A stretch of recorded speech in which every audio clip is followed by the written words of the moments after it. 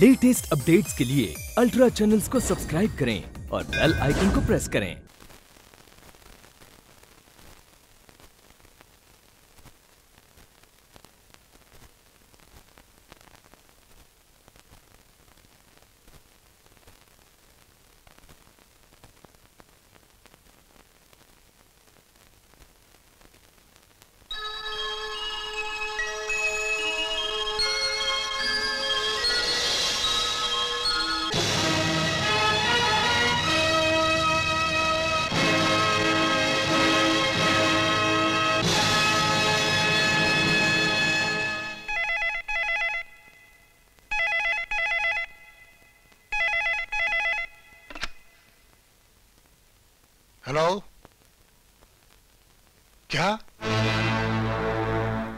कैसे हो गया?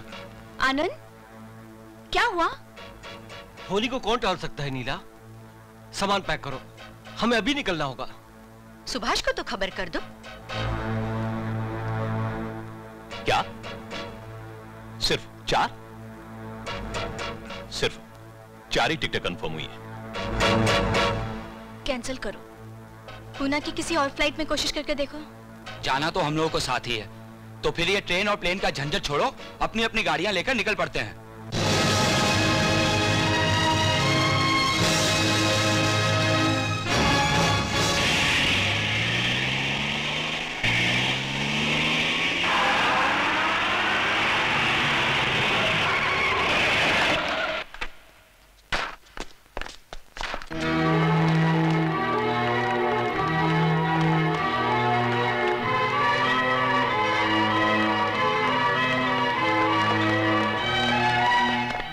तबीयत कैसी डॉक्टर? हालत सीरियस है। कल रात वो अचानक बेहोश हो गए। जब सांस उखड़ने लगी और नब्ज डूबने लगी तो मैंने राम सिंह से कहकर आप लोगों को बंबई फ़ोन करवा दिया। लेकिन बड़े भैया को ये अचानक क्या हो गया? हाँ। कुछ महीने पहले उन्हें एक पैरालिटिक अटैक हुआ था। क्या? Paralytic attack? राम सिंह तुमने किसी को बताया तक नहीं? साहब का हुक्म था कि आप लोगों को तकलीफ़ ना दी जाए। दीनानाथ जी को यह सदमा बर्दाश्त करने में हफ़्ता दस दिन लग गए। क्योंकि वो लकवे का शिकार हो चुके हैं। मतलब? वो अब कभी नहीं चल पाएँगे? नहीं। डॉक्टर साहब बड़े भाई साहब की ज़िंदगी आउट ऑफ़ डेंजर तो है ना? फ़िलहाल कुछ कहा नहीं जा सकता। मैंने दवाई दी है। उनका असर हुआ और रात भर में हालत सुधरी तो उम्मीद बांधी जा सकती है। वरना खैर मैं कल सवेरे आ ही रहा हूँ। ओके? बाय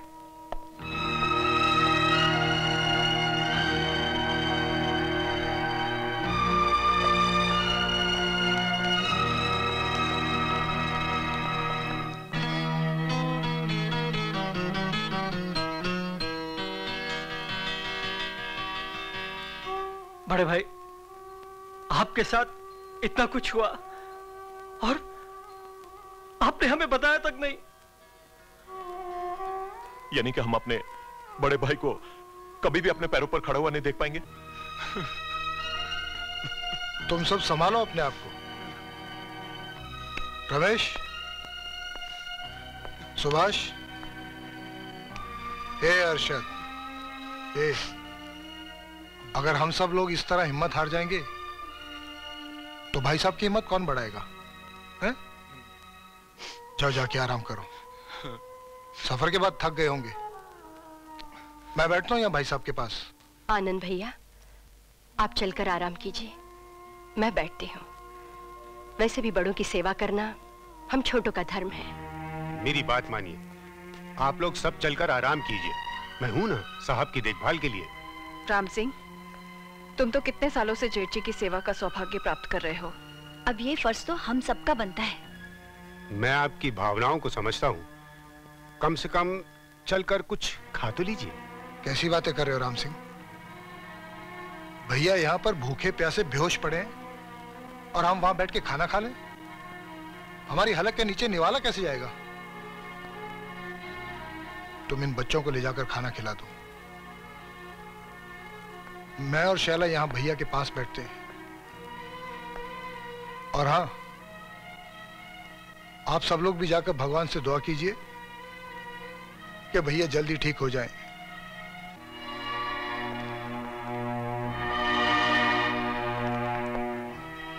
रमेश भैया रमेश भैया रमेश भैया रमेश भैया, ऊपर वाले ने हम सब की सुन ली, साहब को होश आ गया है। सुभाष भैया सुभाष भैया। सुभाष भैया साहब को होश आ गया है। हर्षद भैया हर्षद भैया हर्षद भैया साहब को होश आ गया है।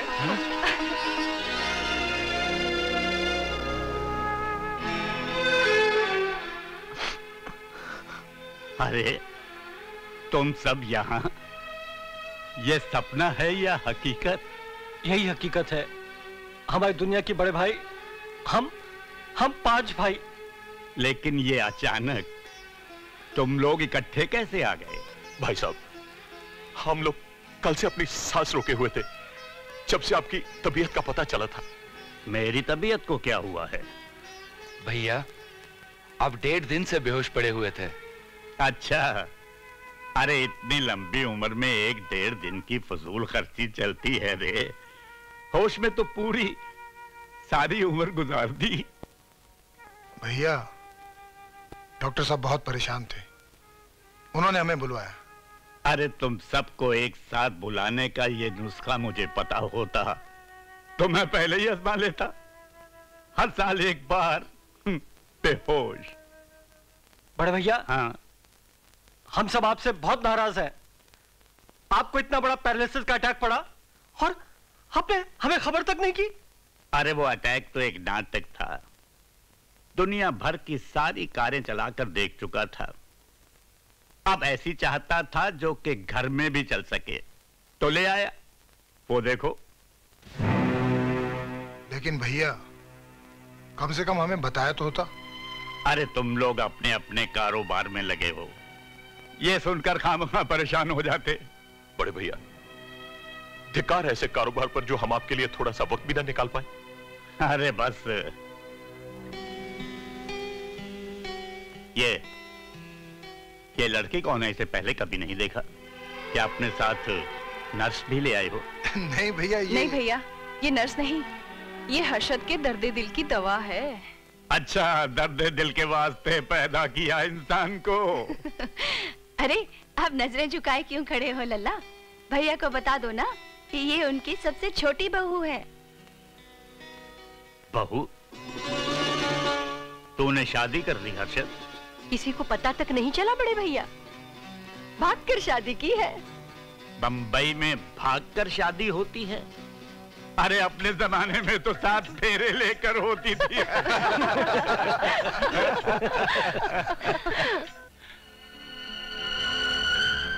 आनंद, तेरा भाई इस साल भी नहीं आया ना। लगता है प्रभाकर मुझे इस जन्म में माफ़ नहीं करेगा। अरे दीनानाथ कमाल है। तुझे होश आ गया? अरे ये होश तेरी वजह से नहीं आया है। आप सुबह सुबह अपनी ये दुकान मत खोल। मैं अगर अपनी ये दुकान ना खोलता ना तो तुम सामान बांधकर कब के निकल लेते? अब जरा चेकअप कर लेने दो।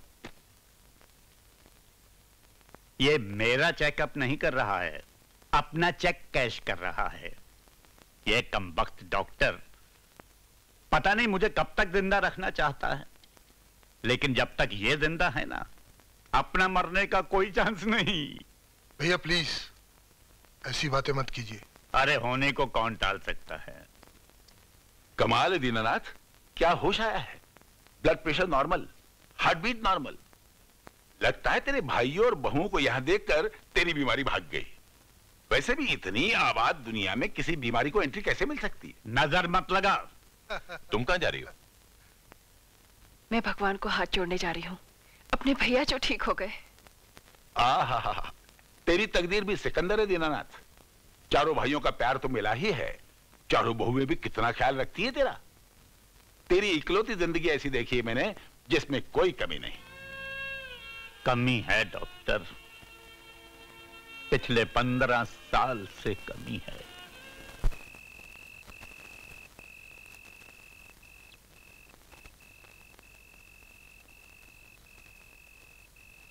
ला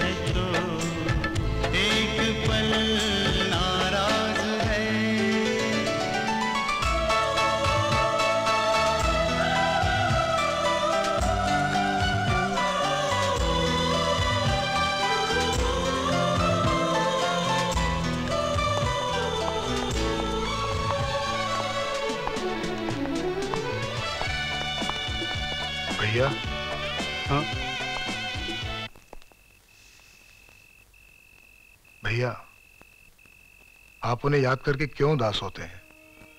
एक ही तो दुख है जो दिल में अटका हुआ है। प्रभाकर को जाने क्या सुख मिल गया मुझे ये दुख देकर। वो भी एक मामूली से झगड़े की वजह से। अरे, उसे जाना था तो चला जाता। अगर साथ में अपने बेटे अमर को भी ले गया जिसमें मेरी जान बसी हुई है। ना लौट कर आया, ना पता, ना खबर। अमर के बगैर ये आलीशान महल एक वीरान मकबरा सा लगता है। इस उम्र में और ये गम? कितने बेबस कितने लाचार कितने मजबूर लग रहे थे बड़े भैया। मेरा दिल तो अभी तक भैया के आँसू देखकर रो रहा है। लेकिन सुभाष अब डूबते हुए सूरज को सुबह की झलक कहाँ से दिखाएँ? दिल में जब ऐसी ख्वाहिश ज़िंदा रह जाती है तो चिता की आग में भी राख नहीं मिलती। आप लोग क्यों ऐसी बातें कर रहे हैं? भैया की ख्वाहिश पूरी करने का कोई तो ज़रिया होगा। प्रभाकर भैया की कमी तो आप लोग पूरी कर देंगे। लेकिन उन्हें अमर की याद भी तो बहुत सताती है। क्यों ना हम अमर की ये कमी अपने बच्चों से पूरी कर दें?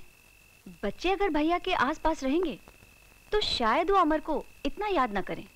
हाँ भाभी जी बात सही है। बहुत अच्छी बहुत अच्छी बात कही आपने। भाई एक और। अब? ये तो है। अब मैं आपका खाना लेके आऊँ? हाँ नहीं लेकिन ये सब लोग कहाँ खा रहे हैं? डाइनिंग हॉल में। मैं भी इन्हीं लोगों के साथ डाइनिंग हॉल में खाऊँगा। लेकिन भैया तुम लोग चुप रहो मैंने कह दिया ना मैं वहीं खाऊँगा। हैं। सुंदर जी। आज क्या मंगलवार है? जी नहीं। तो फिर ये टेबल पर सब सब्ज़ियाँ ही सब्ज़ियाँ वो भी हरी हरी हरी। साहब मेरी गलती नहीं है। आज मैंने खाना नहीं बनाया। ये सब आपके बहुओं ने अपने हाथों से बनाया है। भैया वो क्या है कि आज हमने आपके लिए सिर्फ़ हरी सब्ज़ियाँ ही बनाई हैं? भैया डॉक्टर की खास हिदायत थी ये। हाँ हाँ, अच्छा अच्छा। आ, आ, हाँ, हाँ। वाह वाह वाह वाह। अ, जरा वो पीली सब्ज़ी देना आनंद। जी। भाई वही रसोई वही बर्तन वही मसाले वही सब्ज़ी। फिर हमारे यहाँ ये रोज इतना जायकेदार खाना क्यों नहीं बनता था? साहब हाँ। टिकट कटा लू? टिकट? कहाँ का? गाँव जाने की। क्यों? आपसे बहुओं के हाथ का बना हुआ खाना आपकी जवान पर चढ़ जाएगा। फिर मेरा यहाँ क्या काम? अरे नहीं नहीं तेरी भी कभी कभी ज़रूरत पड़ेगी जब कभी बुरा खाने को जी किया तो। लो भाई सब लोग लोग आना लो अरे विनोद आओ आओ। नहीं नहीं ठीक है सर मैं बाद में आ जाता अरे आ जाओ आओ आओ। हाँ बोलो क्या काम है? सर ईडीसी के जो शेयर्स हैं उसकी कीमत आसमान छूने वाली है और आज उसको खरीदने की आखिरी तारीख है। हाँ तो ठीक है बीस लाख के खरीद लेते हैं। राम सिंह विनोद को तिजोरी में से बीस लाख दे दो। लेकिन दीवान साहब तिजोरी में तो सिर्फ़ पाँच लाख रुपए बचे हैं। पाँच लाख? जी। लेकिन उसमें तो बीस लाख थे। खैर कैश का इंतज़ाम तो करना ही पड़ेगा। भैया मैं कुछ इंतज़ाम करूँ? सुबह तक पहुँच जाएगा? हाँ भैया। अरे तुम लोग आराम से खाना खाओ। पंद्रह लाख रुपया तो पंद्रह मिनट की बात है। विनोद जी। तुम बैंक के मैनेजर अपने दास गुप्ता है ना? जी सर। उनसे जाकर कैश ले लो। मैंने तुम्हें वो ब्लैंक चेक दिए थे ना साइन करके? हाँ सर। हाँ और राम सिंह जी। वो तिजोरी में से पाँच लाख रुपए इन्हें दे दो। जी। चाबी तो तुम्हारे ही पास है ना? जी। जाओ जाओ जाओ जल्दी करो। ये राम सिंह भी मेरी तरह भुलक्कड़ है। रुपया रखता कहीं है ढूंढता कहीं है। कभी कारपेट के नीचे कभी गद्दों के नीचे। मैं सच कहता हूँ कि अगर इस घर की अच्छी तरह तलाशी लो तो 20-25 लाख रुपया तो निकल ही आएगा। पानी पानी पानी। अच्छा ये बताओ कि तुम लोगों का बिज़नेस कैसा चल रहा है? बड़े भैया आपकी दुआ से मैंने एक्सपोर्ट इंपोर्ट का बिज़नेस शुरू किया है। एक्सपोर्ट इंपोर्ट वेरी गुड लेकिन अगर अपनी और अपने देश की भलाई चाहते हो तो एक्सपोर्ट ज़्यादा करना इंपोर्ट कम। चलो खाना खाओ। सुभाष भैया आपके लिए बॉम्बे से अर्जेंट फ़ोन है। हेलो? हाँ मैं सुभाष बोल रहा हूँ। हाँ अचानक मुझे पुणे आना पड़ा। क्या यार तुम लोगों से कोई काम संभलता ही नहीं है? हाँ? नहीं मैं नहीं आ सकता। बिल्कुल नहीं आ सकता। मेरे भैया की अचानक तबीयत खराब हो गई है। मैं उन्हें छोड़कर बिल्कुल नहीं आ सकता। चाहे तो काम ही क्यों ना रोकना पड़े। हाँ। देखो आगे से मुझे आने के लिए कभी मत कहना। समझे? अरे सुभाष अगर कोई ज़रूरी काम है तो चले जाओ। कैसी बातें करते हैं आप? एक बात बताइए भैया। कोई भी धंधा अपने देवता से तो बड़ा नहीं ना हो सकता। देखिए भैया जब तक मुझे आपकी सेहत की तसल्ली नहीं हो जाती मैं आपको छोड़कर कहीं नहीं जाऊँगा। लेकिन बच्चों की पढ़ाई स्कूल। भैया दो दिन बाद दिवाली है। फिर दिवाली की छुट्टियाँ भी। और इस बार हम दिवाली भैया के साथ धूमधाम से मनाएँगे। आयुष्मान भव आयुष्मान भव आयुष्मान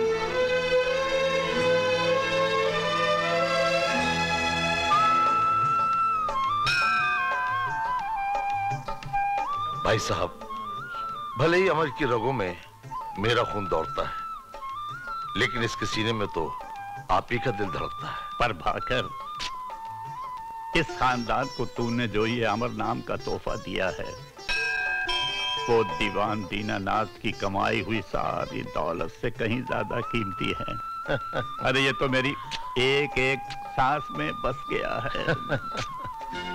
अमर ये सब देख रहा है ना? देख, कितना बड़ा ऑफ़िस है।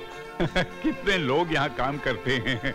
ए, आ जिस दिन तू इतना बड़ा हो गया ना।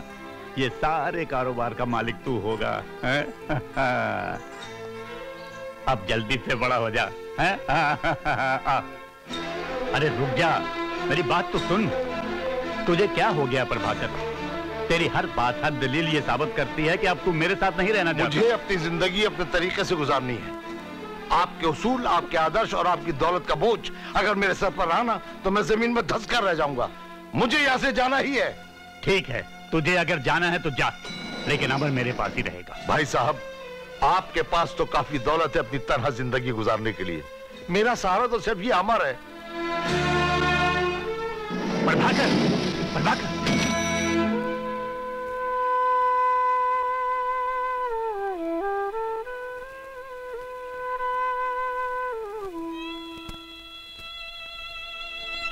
भाई साहब। हम्म। आज दिवाली के दिन आपकी आँखों में आँसू? इन आँखों में सिर्फ़ आज के दिन ही आँसू आते हैं बहू। पिछले पंद्रह साल से हर दिवाली को ये रस्म निभा रहा हूँ। राम सिंह जी चलो। पंद्रह साल से दिवाली के दिन आँसू? मतलब? आज ही के दिन। एक दिवाली पर प्रभाकर भैया अमर को लेकर चले गए थे। अमर को ये भूल नहीं पाते और हर दिवाली पे अपने आप को बहुत अकेला महसूस करते हैं।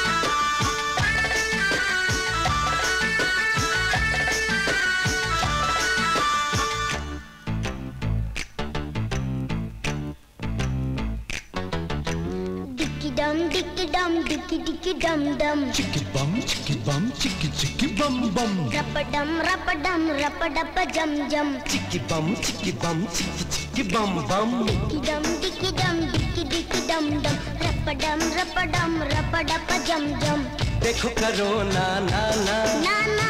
गाओ जी कोई गाना। गाना। खुशियाँ मनाएँगे धूम मचाएँगे गाएँगे मिलके प्यार वाली सरगम। डिकी डम डिकी डम डिकी डिकी डम डम चिकी बम चिकी बम चिकी चिकी बम बम रपडम रपडम रपडप जम जम। चिक बम चिक बम चिक चिकी बम बम।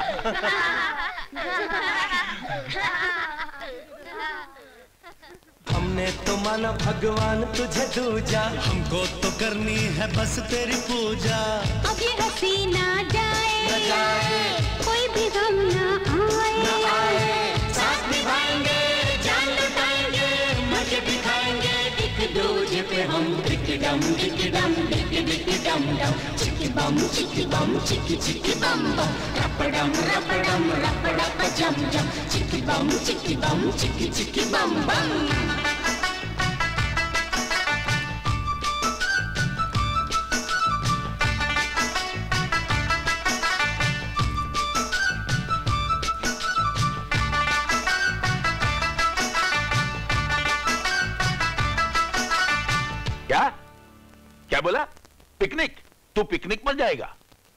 picnic पर जाने को मेरा दिल कह रहा है। और जो मेरा दिल कहता है मैं वही करता हूँ।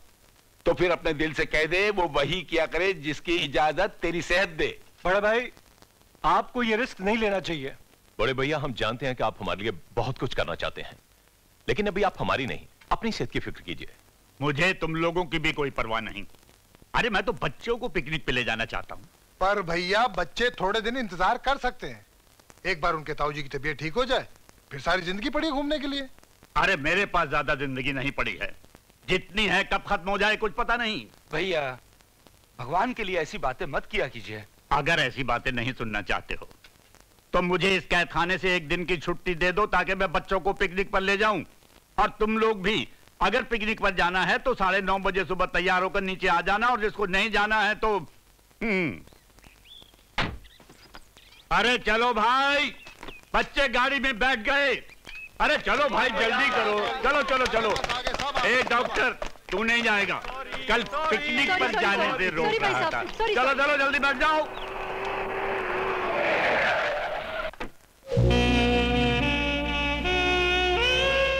Dino Mini.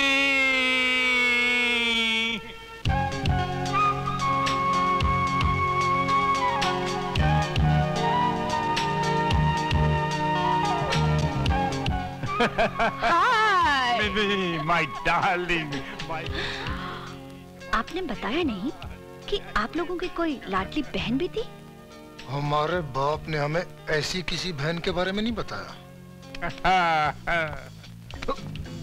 ऐसे मुँह बाय क्या देख रहे हो? वो नहीं देख रहा हूँ जो तुम सोच रही हो।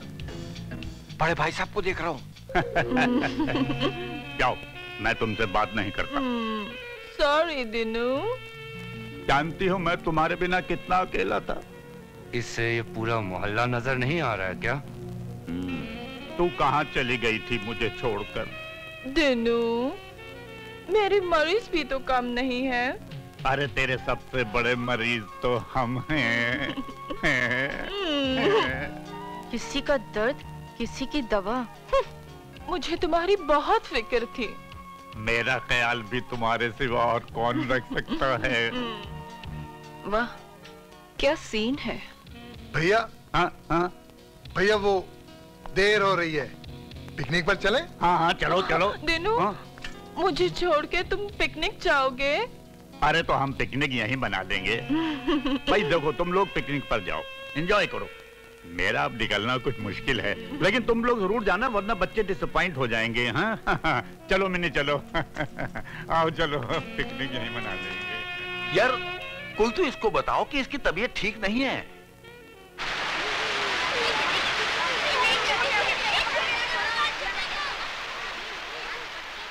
तू कौन थी? थी नहीं है और शायद रहेगी भी। कब तक? जब तक उस बेशर्म लड़की को शर्म नहीं आती। दिनू मिनी छी ये सब सुनने से पहले मैं मर क्यों नहीं गई? प्लीज़ लीना बड़े भैया के खिलाफ कोई शब्द भी नहीं कहेगा। गलती उस लड़की की थी। लड़की नहीं औरत। कपड़े कम पहनने से उम्र कम नहीं हो जाती। यानी कि बचपन से ही बदचलन है। क्या था उसका बचपन?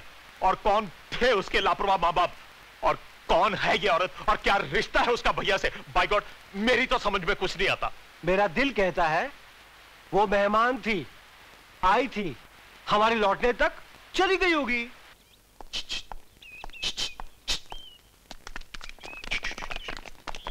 आ गए आप लोग। गई क्या गई? अरे मिनी गई माफ़ कीजिएगा आनंद साहब। गई नहीं गई।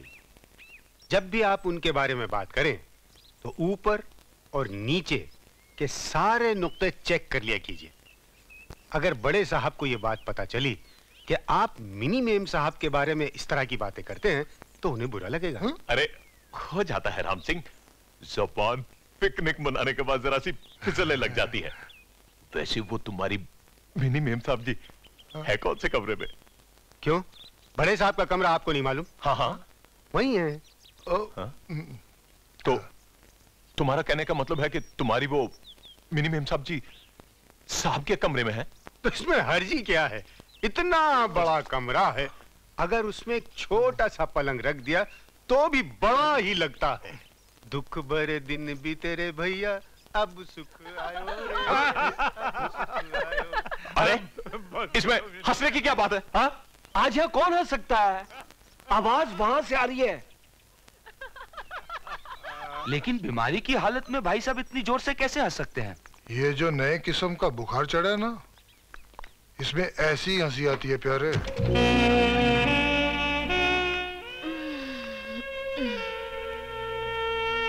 अरे लीना कितना मज़ा आया ना पिकनिक पर।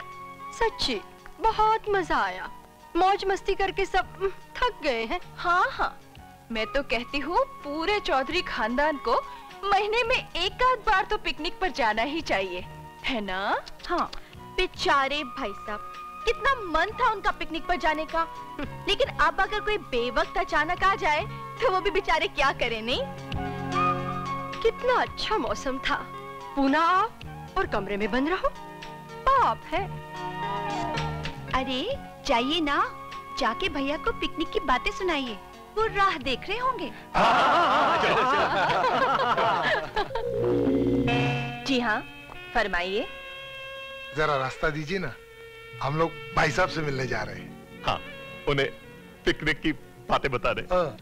उन्हें सुनना होगा तो आप लोगों को बुलवा लिया जाएगा। क्या बुलवा लिया जाएगा? हमें उनकी तबीयत भी तो पता करनी है ना? तबीयत बिल्कुल ठीक है। अब मैं आ गई हूँ ना। आप लोगों को फ़िक्र करने की कोई ज़रूरत नहीं। और वैसे भी पूरा दिन काफ़ी खेलते कूदते रहे हैं। थक गए हैं। अब आराम कर रहे हैं। लेकिन भाई साहब खुद हमसे मिलना चाहते होंगे। आप जरा जाकर उनको बताइए तो सही कि हम चारों आए हैं। बता दिया जाएगा। वैसे आप लोग अगर इंतज़ार करना चाहते तो कीजिए। हम्म? बाय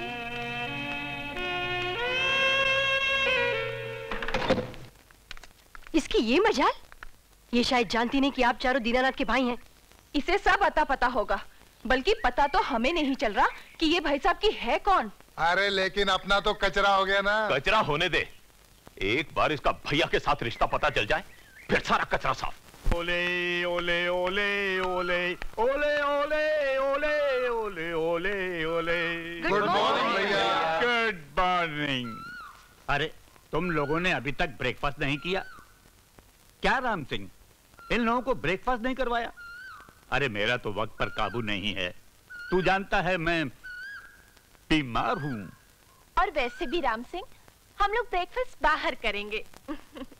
दिन मुझे शॉपिंग करवाने ले जा रहा है। साहब आपके साथ बाहर जा रहे हैं? हम्म, राम सिंह तुम तो जानते हो मैं सिर्फ़ दिनों के चॉइस के कपड़े पहनती हूँ। आप लोग ब्रेकफास्ट कर लो हम लोग चलते हैं। बाय बाय भैया को नाश्ता तो कर लेने दो बहन। बहन? कौन सी बहन? कैसी बहन? अच्छा अच्छा। ये बहन की गलतफहमी इसलिए हो रही है क्योंकि मिन्नी को मैंने तुम लोगों से नहीं मिलवाया। मिन्नी ये मेरे छोटे भाई हैं और ये इनकी बीवियाँ हैं। जानती हूँ। और ये है मिन्नी। कहने में मिन्नी लेकिन मेरी ज़िंदगी में इसकी बहुत बड़ी अहमियत है। पेशे से नर्स है। दिनू। नर्स थी दिनू। हूँ नहीं। आई एम सॉरी जब मुझे अटैक हुआ था ना तो नर्सिंग होम वालों ने इसे मेरी देखभाल के लिए भेज दिया था। इसने मेरी सेहत का ऐसा ख्याल रखा कि मैंने इसके सामने प्रपोजल रख दिया। प्रपोजल? कैसा प्रपोजल? हमेशा के लिए इस घर में रहने का ऑफ़र दिया पर तब ये आ नहीं पाई। अब मेरी दुनिया में हमेशा के लिए आ गई है। ये बड़ी अच्छी नर्सिंग करती है। हाँ बेशक। हम सबने देखा। आपका बहुत ख्याल रखती है ये। सुनने में शायद अजीब लगे। लेकिन जब से ये मिन्नी आई है ना मुझे ऐसे लगता है कि जैसे तुम लोग मेरे बड़े भाई हो और मैं छोटा छोटा। शॉपिंग को चले हाँ चलो। बाय बाय बड़े भाई बाहर कड़कती धूप है। गाड़ी में एसी है। ओले ओले ओले ओले।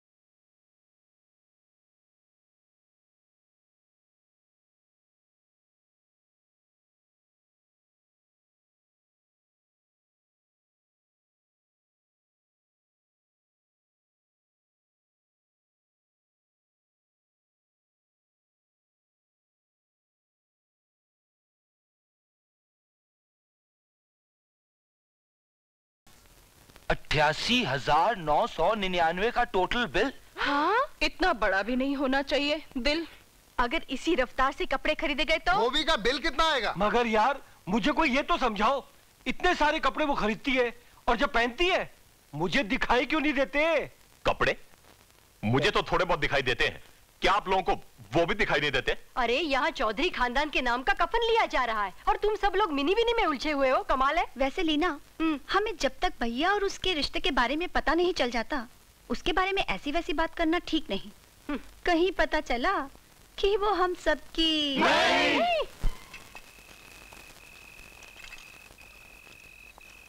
मैं नहीं कहता था बड़े भैया वैसे नहीं है जैसे हम उन्हें समझने लगे हैं। तो बड़े भैया शॉपिंग पर हमारे लिए इसी का इंतज़ाम करने गए होंगे।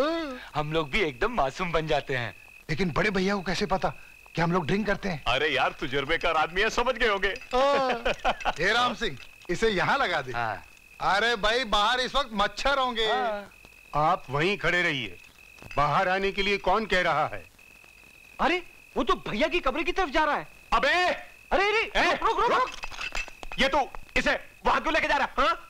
आप लोग इतने दिन से यहाँ हैं अभी तक घर का जोग्राफिया समझ में नहीं आया। सामने साहब का कमरा है और ये सारा सामान मिनी मेम साहब ने मंगवाया है। यानी कि तुम्हारी मेम साहब शराब भी पीती हैं? छी छी छी कैसी बातें कर रहे हैं आप? पीती नहीं पिलाती है। किसको? साहब को। ये इस घर में हो क्या रहा है? सब अपनी मनमर्जी कर रहे हैं? अरे उन्हें जान से मारोगे क्या? भैया बीमार है और उन्हें शराब पिलाने का प्रोग्राम बनाया जा रहा है। अरे तुम सब दुश्मन हो दुश्मन उनकी जान के। राम सिंह कहाँ अटक गए तुम? मेम साहब यहाँ रास्ता रोको आंदोलन शुरू हो गया है। एक मिनट। ये तुम क्या खिला पिला रही हो इन्हें? खाने पीने के बारे में तुम मुझे पूछने वाले होते कौन हो हुँ? मैं उनकी पर्सनल नर्स हूँ या तुम? और एक भरोसेमंद नर्स होने के नाते मैं अच्छी तरह से जानती हूँ। उन्हें क्या खिलाना चाहिए क्या पिलाना चाहिए। राम सिंह।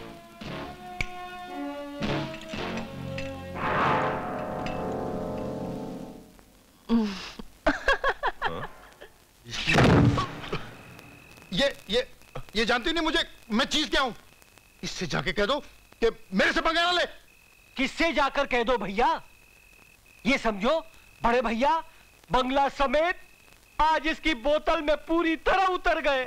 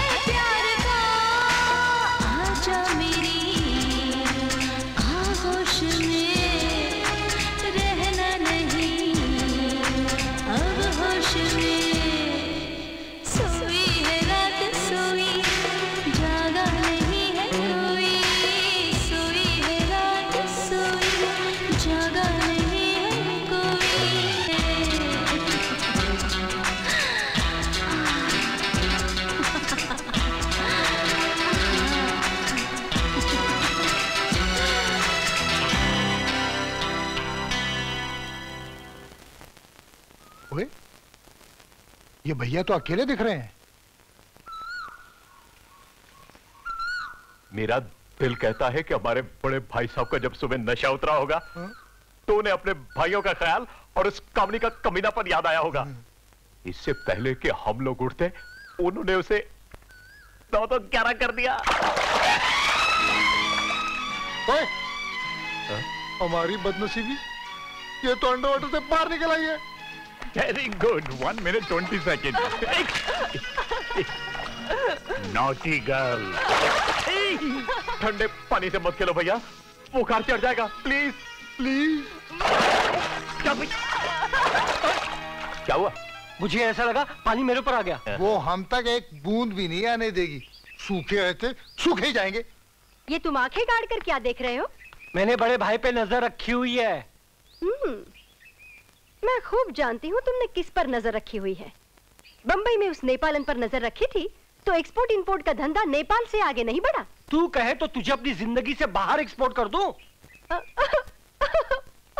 दीदी दीदी देखो ना देखो ना ये क्या कह रहे हैं। जो मैं सुनकर आ रही हूँ उससे बुरा कोई क्या कहेगा? सुनो बम्बई से फ़ोन आया है। तुम्हारी बिल्डिंग का काम रुक चुका है? वहाँ मेरी बिल्डिंग का काम रुक गया। यहाँ महल मलबा हो गया। ये बिल्डिंग ना बनी तो मेरे मायके वालों में तुम्हारी नाक कट जाएगी। कितने लोगों ने वहाँ से तुम्हारी बिल्डिंग में अपना फ्लैट बुक कराया? है एक का भी पैसा नहीं आया। तुम दहेज में क्या चूना चूनागार और सीमेंट लेके आई थी जो खैरात में फ्लैट बना बना के बेचो? तुम तो अपने गले में सीमेंट की बोरियाँ लटका कर रिश्ता लेने आए थे। कहते थे बहुत बड़ा बिल्डर हूँ। अरे पिछले दस सालों से एक भी बिल्डिंग सीधी खड़ी कर पाए क्या? चलो चिल्लाओ मत मिस्टर आनंद चौधरी। चौधरी तो तुम्हारा गया स्विमिंग पूल में। अब अपने नाम की औकात बचाओ। नहीं तो नहीं तो क्या क्या क्या क्या क्या क्या कर लोगे तुम? बड़े भैया क्या हो रहा है आप आप मिस्टर शांति दूत जरा इधर आइए। मैं? नहीं भैया आप नहीं। आप जरा इधर आइए इधर। इधर आइए। ये पढ़िए। ये क्या है छोटे? मेरा पेंडिंग बिल। इसे अभी क्लियर करो। पिछले दो साल से मेरी वाइन शॉप से अपने होटल के लिए फोकट की दारू ले जाते हो और हमेशा भाई भाई कहकर इमोशनल कर देते हो पैसे वैसे की बात बात में कर पहले अपने बड़े भाई से बात करने की तमीज से बड़ा भाई अगर छोटी हरकतों पर उतर आए तो ये मत समझना मैं तुम्हारी बॉडी देख के डर जाऊँगा आनंद भैया समझाइए इसे बाद में बात कहिएगा कि बंबई से चार आए थे पूना से तीन वापस क्यों जा रहे हैं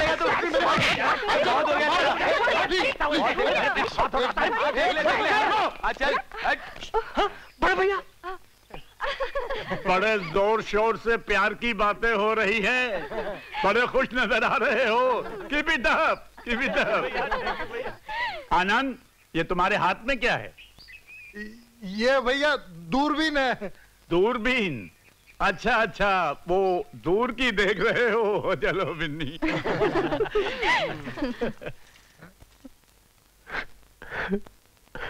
मैं तो शुरू से कह रही थी कि गड़बड़ तुम्हारे बड़े भैया में भी है। कल तक वो तुम्हारे भी बड़े भाई थे और आज हमारे रह गए। हाफते हुए आए थे अपने बड़े भैया की तबीयत पूछने और अब यहाँ आँखें फाड़कर उस बेशर्म मिनी का कैबरे डांस देख रहे हो। टिकट निकाल कर गया था क्या? सामने हो रहा था। मैं क्या करता? बड़े भैया के बारे में क्या सोचा था? और ये क्या निकले? बहुत दूर निकल गए तुम्हारी होने वाली भाभी के साथ। मेरी तुकती रख पर हाथ मत रखो रेखा। वो मेरा हाथ नहीं तुम्हारी होने वाली भाभी का पाँव है। हिम्मत है तो उससे जाकर कहो ना। तुम तो अपना घर भी जलता हुआ देखोगी ना?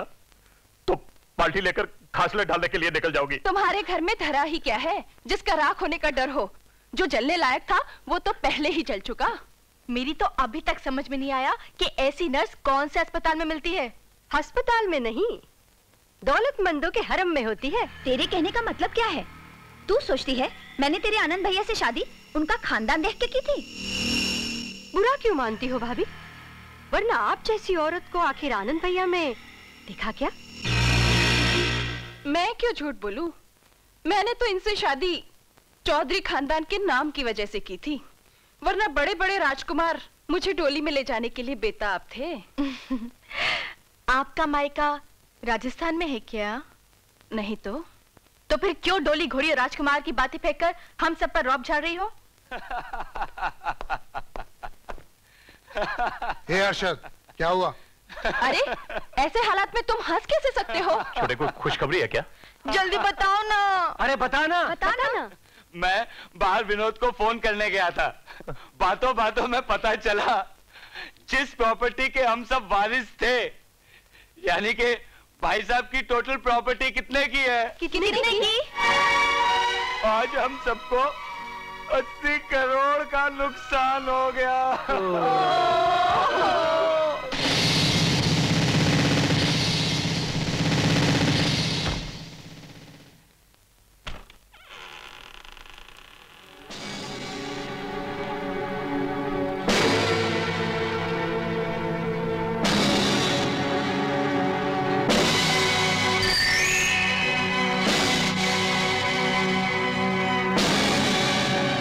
ये क्या कर रहे हैं क्या? तुम्हें याद है कि भैया ने उस दिन क्या कहा था? क्या कहा था? उन्होंने कहा था कि राम सिंह पैसे रख के कहीं भी भूल जाता है। और अगर इस घर की सफ़ाई की जाए तो 20-25 लाख तो यूँ ही निकल आएँगे। याद आया?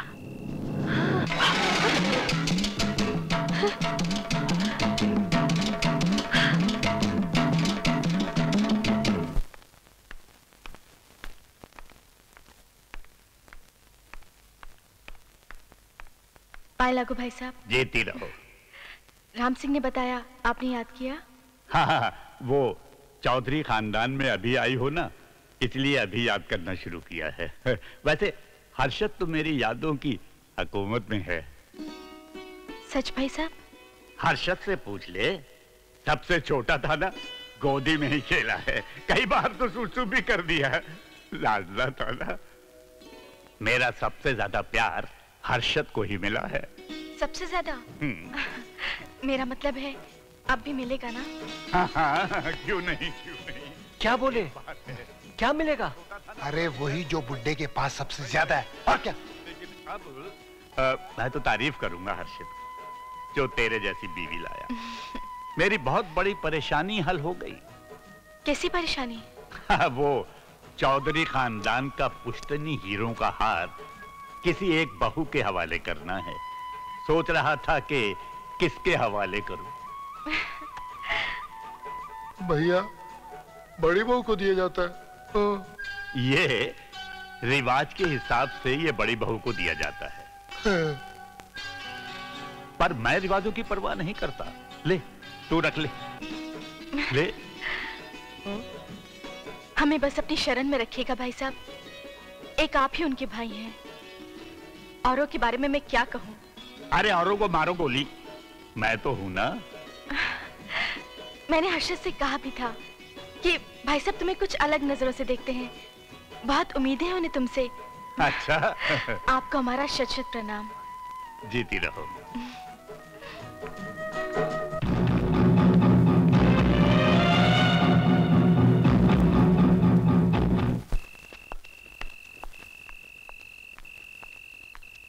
आप लोगों ने मुझे यहाँ क्यों बुलाया?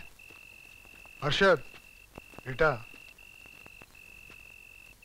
भाई कल जो कुछ भी हुआ उसके लिए हम सब बहुत शर्मिंदा हैं। एक बात तो समझ में आ गई कि हम लोग अपना त्रिया चरित्र दिखाकर अपना ही नुकसान कर रहे हैं। और नुकसान भी कोई छोटा मोटा नहीं बीस करोड़ पर भाई का। अगर नुकसान किसी का होगा तो वो आप लोगों का होगा। क्योंकि भैया ने तो हर्षद के बारे में कुछ और ही सोच रखा है यू नो ये जो बात तुम सोच रही हो ना ये बात भैया ने नहीं उस नर्स ने सोची है। वैसे भी वो नर्स हम लोगों में फूट डालकर हम लोगों पर राज कर रही है।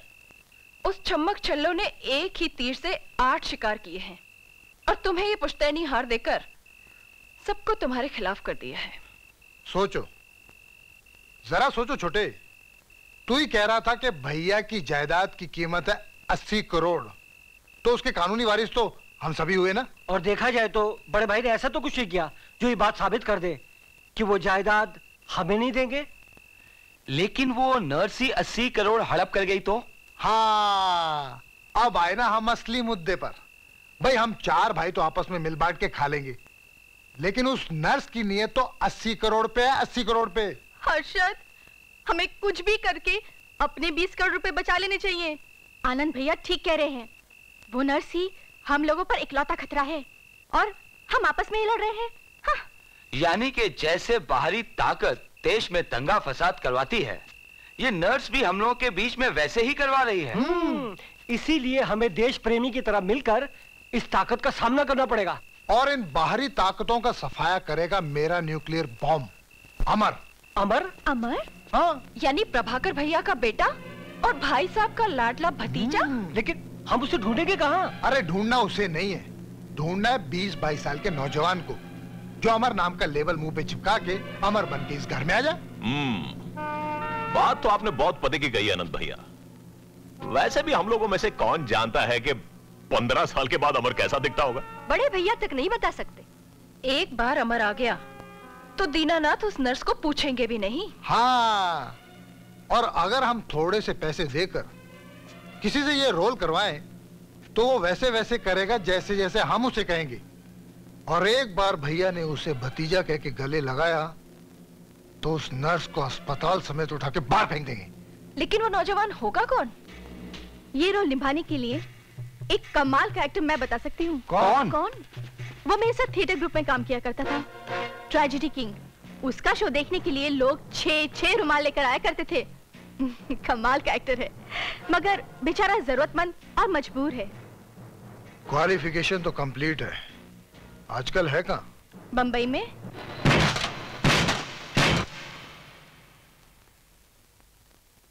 क्या हुआ? होना क्या है? पेट्रोल खत्म हो गया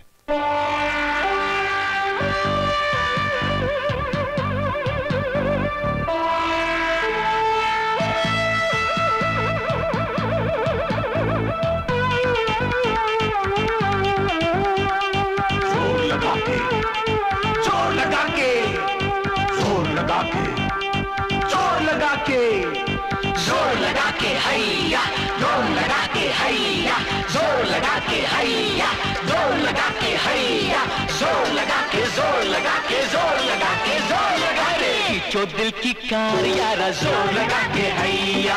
बैठा इसमें प्यार, यारा ज़ोर लगा के हैया। नाजुक नाजुक इसकी डोर होती है यारा कमज़ोर? देखो टूटे ना दिलदार, यारा ज़ोर लगा के हैया। खिंचो दिल की कार, यारा ज़ोर लगा के हैया। बैठा इसमें प्यार, यारा ज़ोर लगा के हैया। नाजुक नाजुक इसकी डोर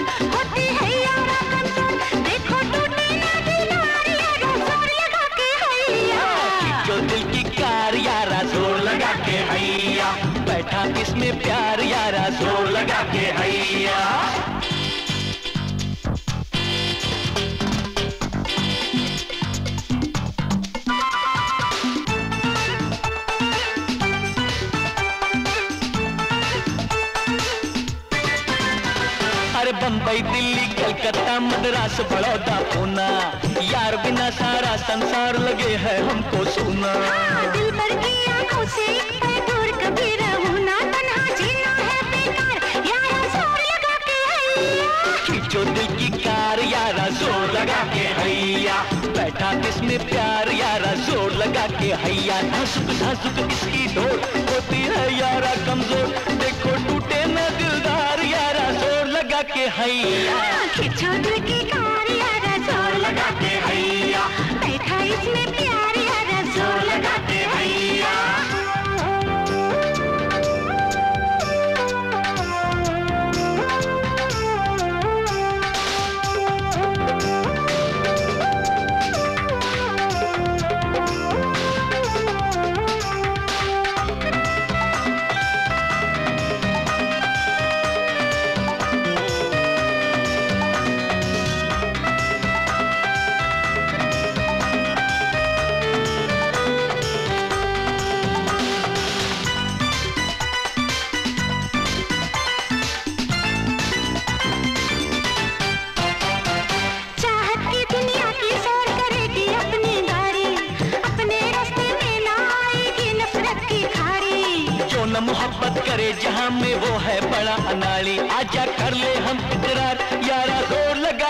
के हैया। खिंचो दिल की कार यारा ज़ोर लगा के हैया। बैठा इसमें ज़ोर लगा के हैया। नाजुक नाजुक इसकी डोर होती है यारा कमज़ोर देखो टूटे ना ज़ोर लगा के हैया। दिल ज़ोर लगा के हैया। बैठा प्यार यारा ज़ोर लगा के हैया। नाजुक नाजुक इसकी डोर होती है यारा कमज़ोर के हैया। छोटे के कार यारा ज़ोर लगा के हैया। बैठा इसमें प्यार यारा ज़ोर लगा के हैया।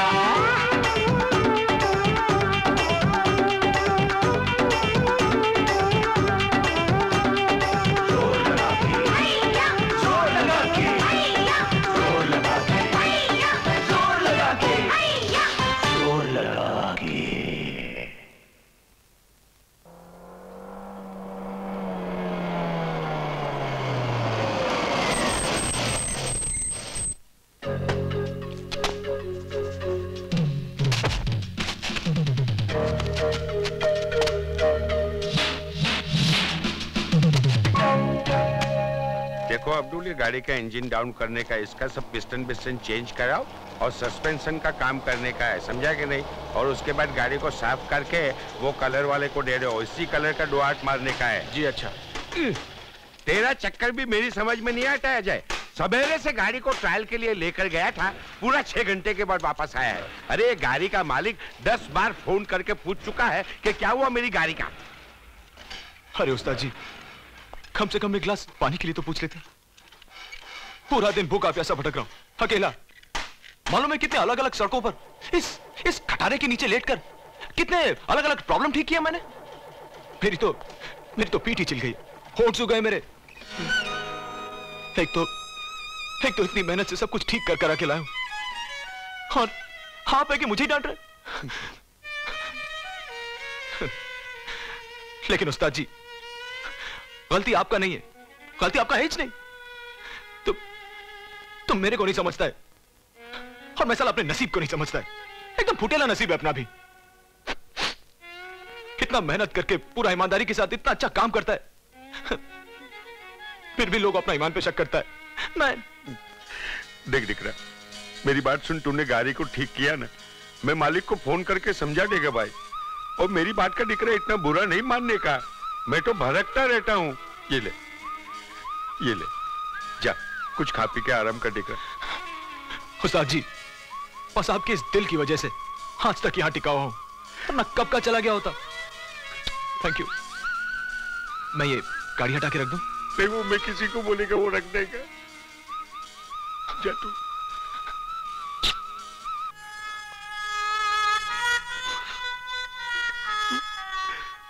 बहुत ही अच्छा छोकरा है।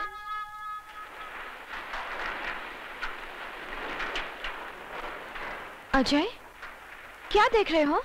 हम्म? वही अपने घर के सपने को देख रहा हूँ। पता नहीं कब पूरा होगा मेरा ये सपना। एक सपने के इंतज़ार में बाकी सपने कब तक बैठे रहेंगे? घर जब होना होगा हो जाएगा। हमें अब शादी को और नहीं टालना चाहिए। हम्म। मामा जी शादी के लिए बड़ा ज़ोर डाल रहे हैं। सुमन जब शादी के बाद हर 11 महीने तुम्हें अपना ससुराल बदलना पड़ेगा ना कभी ये खोली तो कभी वो खोली। तुम्हारी सारी मोहब्बत धरी की धरी रह जाएगी। अच्छा बताओ। तुम यही चाहती हो ना कि शादी के बाद भी हम एक दूसरे से उतनी ही मोहब्बत करें जितना कि आज करते हैं हम्म? हम्म, तो यकीन जानो उसके लिए एक दिल से ज़्यादा हमें एक घर की ज़रूरत पड़ेगी। देखो अजय तुम एक ही लोकेलिटी में पिछले तीन साल से पेइंग गेस्ट हो। तुम्हें कहाँ जगह बदलनी पड़ी? अरे डफर। क्या? अरे बाबा उस घिसेली पिटीली लोकेलिटी में आज तक सिर्फ़ इसीलिए जमा हुआ हूँ क्योंकि वहाँ आपके पूज्य मामा जी रहते हैं। अगर पुणे से बंबई तू अपने उस मामा से मिलने नहीं आती तो हमारी मुलाकात कैसे होती हुँ? अरे मामा से याद आया जब से मैंने अपने चेहरे से वो चूना पोच कर अपने हाथों में ग्रीस लगा लिया ना तेरा मामा कुछ इज़्ज़त से देखने लगा अपन को? तुम्हें थिएटर छोड़कर गैरेज में काम करना पड़ा। बहुत बुरा लगा ना? हाँ बहुत बुरा। लेकिन उतना बुरा नहीं जितना अच्छा तुमसे शादी करने के बाद लगने वाला है। अरे वैसे भी कलाकार बनके क्या कमा लिया मैंने? यहाँ गैराज में मेहनत करके कम से कम कुछ आमदनी तो हो जाती है। देख लेना। अगर मेरी शादी कहीं ज़बरदस्ती तय हो गई ना तो मैं तुम्हारे सामने समुद्र में कूदकर जान दे दूँगी। तुम जान दे भी दोगी और जान ले भी लोगी। पूछो क्यों? क्यों? क्योंकि जब तुम समुद्र में कूदोगी तो तुम्हें बचाने के लिए तुम्हारे पीछे पीछे अपन को भी कूदना पड़ेगा। और वो क्या है ना कि अपन को तैरना नहीं आता। हाँ कसम से। इसीलिए डूबेंगे तो अपन दोनों ही।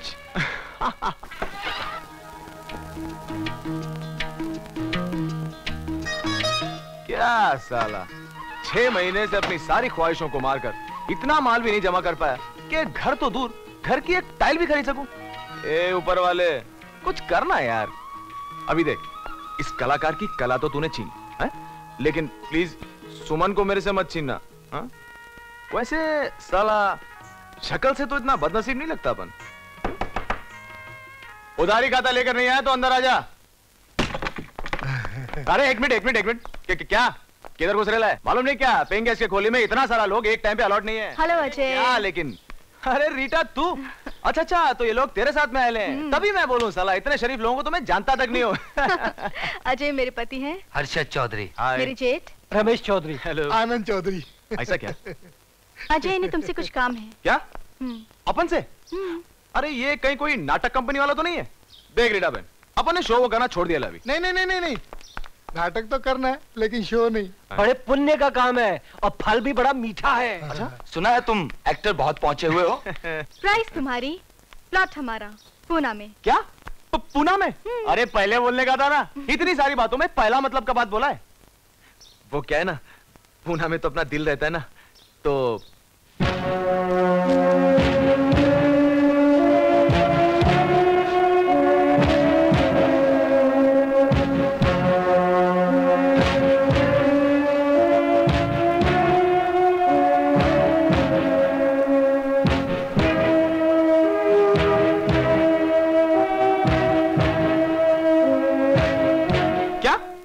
कैसी बातें कर रहे हो? हम दूसरी तरह की बातें भी करते हैं अजय। हम जानते हैं कि तुम बहुत अच्छे कलाकार हो।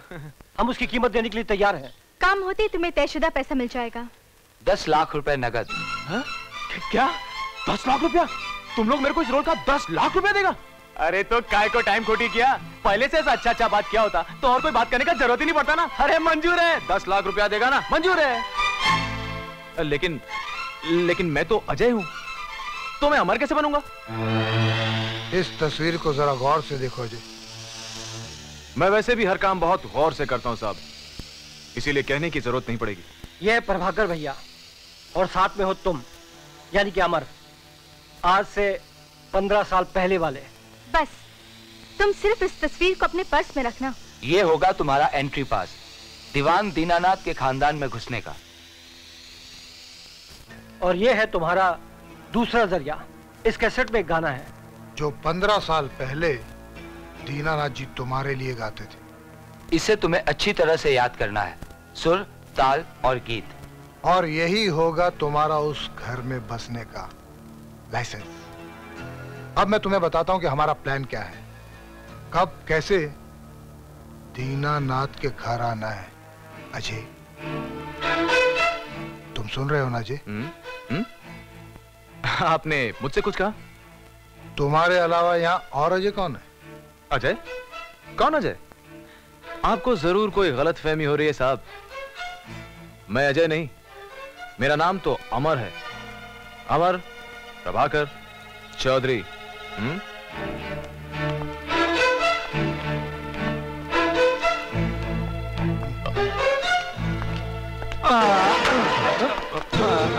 मैं हूँ मैं हूँ, चिंता करने की कोई बात नहीं है। और? हम्म चोर चोर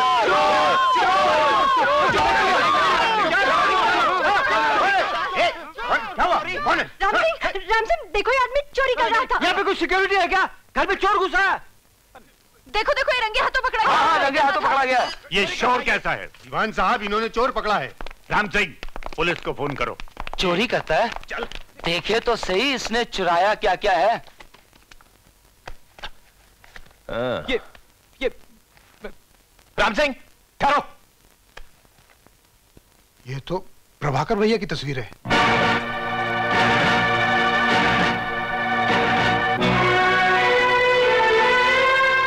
बोल ये तस्वीर तेरे पास कहाँ से आई? सुभाष छोड़ दो इसे। लेकिन भैया कहा ना छोड़ दो। तुम यहाँ चोरी करने आए थे। मैं तुम्हें मुँह मांगा इनाम दूँगा। सच सच बताओ ये तस्वीर तुम्हें कहाँ से मिली? और ये पर्स किसका है? ये ये पर्स मेरा है। मुझे माफ़ कर दीजिए प्लीज़। अगर ये पर्स तुम्हारा है तो ये पंद्रह साल पुरानी तस्वीर तुम्हें कहाँ से मिली? मिली नहीं बाबूजी। ये मेरे बचपन की तस्वीर है। मैं सच बोल रहा हूँ। कई सालों से मेरे पास है। झूठ बोलता है। क्या नाम है तुम्हारा? अमर। बाप का नाम? Mister P Chaudhary. पूरा नाम बताओ। श्री प्रभाकर चौधरी। तू प्रभाकर चौधरी का बेटा अमर है। और मुझ बूढ़े को नहीं पहचानता। बचपन में मेरे अलावा तो तू किसी को भी नहीं पहचानता था। आ, मैं कुछ समझा नहीं। एक बात सीने से लग जा। सब समझ जाएगा। देखिए या तो आप लोग मेरे साथ खिलवाड़ कर रहे हैं या आपको कोई बहुत बड़ी गलतफहमी हुई है। खिलवाड़ तो तेरे बाप ने पूरे पंद्रह साल तक मुझसे किया है। कहाँ है प्रभाकर? उनको तो मरे हुए चौदह साल हो गए। नो नो वो उससे पहले कैसे मर सकता है? कैसे हुई थी उनकी मौत? मुझे तो कुछ ठीक से याद नहीं है लेकिन सुना एक्सीडेंट हुआ था। लेकिन बाबूजी मेरे पिता की मौत की खबर सुनकर आप क्यों इतने दुखी हो रहे हैं? दुखी तो प्रभाकर को होना चाहिए था। मेरी मौत पर मेरी अर्थी उठाते वक्त प्रभाकर मुझ बदनसीब का छोटा भाई था। और तू अब चोर नहीं दीवान दीनानाथ का भतीजा। नहीं नहीं नहीं ऐसा नहीं हो सकता। मैं और आपका मुझे तो यकीन ही नहीं होता कि फिर भैया यकीन तो मुझे भी नहीं होता। बड़े भैया अगर ये अमर है तो इसे वो गाना याद होना चाहिए जो अमर के बचपन में आप उसके लिए गाया करते थे। हाँ हाँ हाँ याद है वो गाना जो मैं तेरे लिए गाया करता था। तब तू बहुत छोटा था याद है ना? याद कर। तू वो गाना नहीं भूल सकता। याद कर।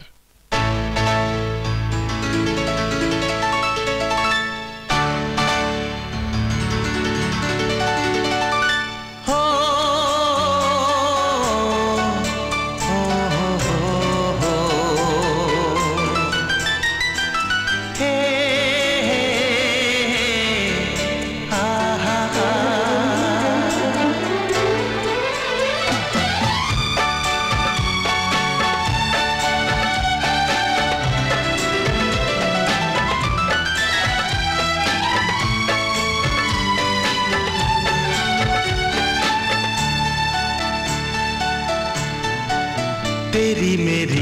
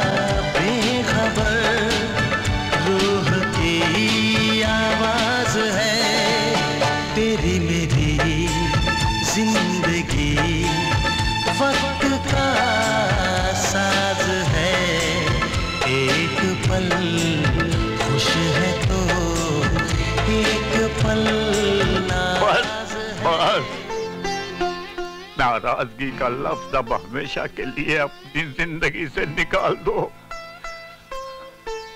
जी।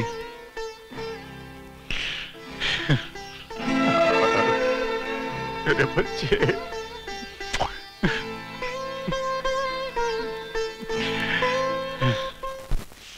वाह आनंद भैया वाह। अगर आप महाभारत के वक्त पैदा होते ना तो ज़रूर द्रोणाचार्य होते ऐसा तीर निशाने पे तो अर्जुन का भी नहीं लगा होगा। कमाल है। कोई मेरी तारीफ़ भी नहीं करता कि कितना ज़बरदस्त एक्टर ढूंढ के दिया है। अरे ज़बरदस्त? वो टपोरी ऐसा भोलापन चेहरे पर लाया एक बार तो मुझे लगा जैसे असली अमर गाना गा रहा है। उस नर्स को देखा था? उसके चेहरे की तो हवाइयाँ उड़ गई थी। मुझे तो लग रहा है कि उसने अपना सामान भी बटोरना शुरू कर दिया होगा। यहाँ तक तो भगवान ने हमारी सुन ली। बस अब ठीक ठाक ऐसा ही चलता रहे। हीना ये तुम क्या कर रही हो? बीस करोड़ रुपया गिनने की प्रैक्टिस कर रही हूँ। और फिर क्या हुआ? वो मेंढकी जो थी ना वो फुदक कर तालाब के अंदर। आओ आओ अमर बेटा। प्रणाम बाबू जीते रहो। लगता है देर से उठने की आदत है। जी। बाबूजी जब ना कोई सुलाने वाला हो ना ही कोई जगाने वाला हो तो आँख अपनी मर्ज़ी से ही खुलती है। पहले तुम अपने चार चाचाओं की फौज से मिलो। ये है स्वीटी। ये किदार। आए। ये स्वाति। ये पतली। नाम इसका है बबली। और ये है गज्जा। इसकी खासियत ये है कि जब सब सो जाते हैं ये उठ जाता है और जब सब उठ जाते हैं तो ये सो जाता है। बेटा जी? तुम्हें यहाँ किसी किस्म की परेशानी तो नहीं ना? बस एक ही परेशानी है बाबूजी। जितना प्यार मुझे यहाँ मिला है मुझे उसकी आदत नहीं है। आदत डाल लो बेटा। जो अभी मिल रहा है उससे सौ गुना ज़्यादा प्यार तुम्हें हमें देना होगा। हमसे इतने सालों अलग रहने का जुर्माना। बाबूजी मैं तो आदत डाल लूँगा। लेकिन लेकिन अब आप भी मुस्कुराने की आदत डाल लीजिए। इतने साल आप भी कहा मुस्कुराए होंगे? अमर ये पुराने हिसाब किताब बाद में देखेंगे। पहले तू दीवान दीनानाथ का पूरी तरह से भतीजा बन जा। राम सिंह। जी साहब। अमर को ले जाओ। जी। और इसको नए कपड़े दिलवाओ। जी। कम से कम तीस जोड़ी कपड़े। बाबूजी तीस जोड़ी? किस लिए? पंद्रह तेरे हमारे बगैर गुजरे जन्मदिन के तोहफे। और पंद्रह तेरे बिना गुजरी हमारी दिवाली के तोहफे। राम सिंह ले जाओ। आइए अमर बाबू। अमर बाज़ार जाते जाते गाड़ी में हमें ताऊजी कहने का रियाज कर लेना। बचपन में जब तू तोतली जबान में कहता था ना ताऊजी ताऊजी अब देखें तेरे मुँह से कैसा लगता है।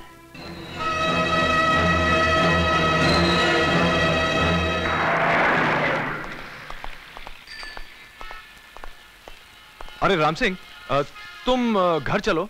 मैं कुछ काम वाम निपटा के आता हूँ। लेकिन आपको जाना कहाँ है? मुझे बताइए मैं आपको ले चलता हूँ। राम सिंह मेरी पिछली भी एक ज़िंदगी थी हाँ? तो ज़ाहिर है उसमें कुछ दोस्त भी थे। बस उन्हीं दोस्तों को मिलकर आता हूँ। तुम चलो। पर अपना पता तो बताते जाइए। साहब मुझसे यार तो- राम सिंह अब तुमसे क्या छुपाना? यार मेरा पिछला हर पता बिल्कुल लापता है। अब सड़क पर रहने वालों को कोई अता पता थोड़ी होता है, हैं? समझ गया। हाँ। लेकिन आप जरा जल्दी तशरीफ़ लाइएगा। बस यूँ गया और यूँ आया।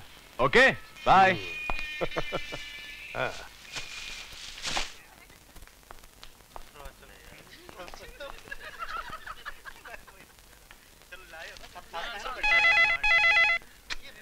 यस सर क्या आप मुझसे शादी करेंगी? व्हाट अजी मैंने पूछा क्या आप मुझसे शादी करेंगी? Are you out of your mind कौन बदतमीज बोल रहे हैं आप? अजी वो बदतमीज मैं बोल रहा हूँ सुमन जी। जिसके पास आपको रखने के लिए दिल तो है लेकिन कम्बा घर नहीं है। अजय हाँ। आई एम सॉरी अजय तुम पूना में? और ये सब कपड़े? मामला क्या है? तुम बस यूँ समझ लो। ये मेरे नए ड्रामे का कॉस्ट्यूम है। हम्म। ड्रामा? हाँ। मगर तुम तो कह रहे थे कि तुमने थिएटर छोड़ दिया। छोड़ तो दिया था लेकिन एक बूढ़े बेबस बुज़ुर्ग की मजबूरी देखकर फिर से पकड़ लिया। दीवान दीनाना जी का नाम तो तुमने सुना होगा। पूना में उन्हें कौन नहीं जानता? सुमन उनका अमर नाम का एक भतीजा था जो करीब पंद्रह साल पहले खो गया था जिस पर वो जान छिड़कते थे। दीवान साहब अब कुछ ही दिनों के मेहमान उनकी आखिरी ख्वाहिश थी कि मरने से पहले वो सिर्फ़ एक बार अपने उस भतीजे से मिल लें। इसलिए जब उनके भाइयों ने आकर मुझसे अमर का रोल करने के लिए कहा मैं मना नहीं कर पाया। क्या? मतलब तुम हकीकत में किसी के घर में रहकर ये सब करोगे? अजय तुम जानते नहीं? मैं सिर्फ़ इतना जानता हूँ सुमन कि जब इंसान की आखिरी ख्वाहिश पूरी नहीं होती उसे अपनी सारी ज़िंदगी बेमाने लगने लगती है। मैं नहीं जानती थी अजय कि तुम दूसरों के जज्बात की इतनी कदर करते हो। अरे देखो ना तुम्हारे जज्बातों की कदर करके मैं यहाँ तक चला है। चलो घूमने चलते हैं। घूमने चलना है तो छह बजे तक इंतज़ार करना पड़ेगा। क्यों क्यों? Because now I am on duty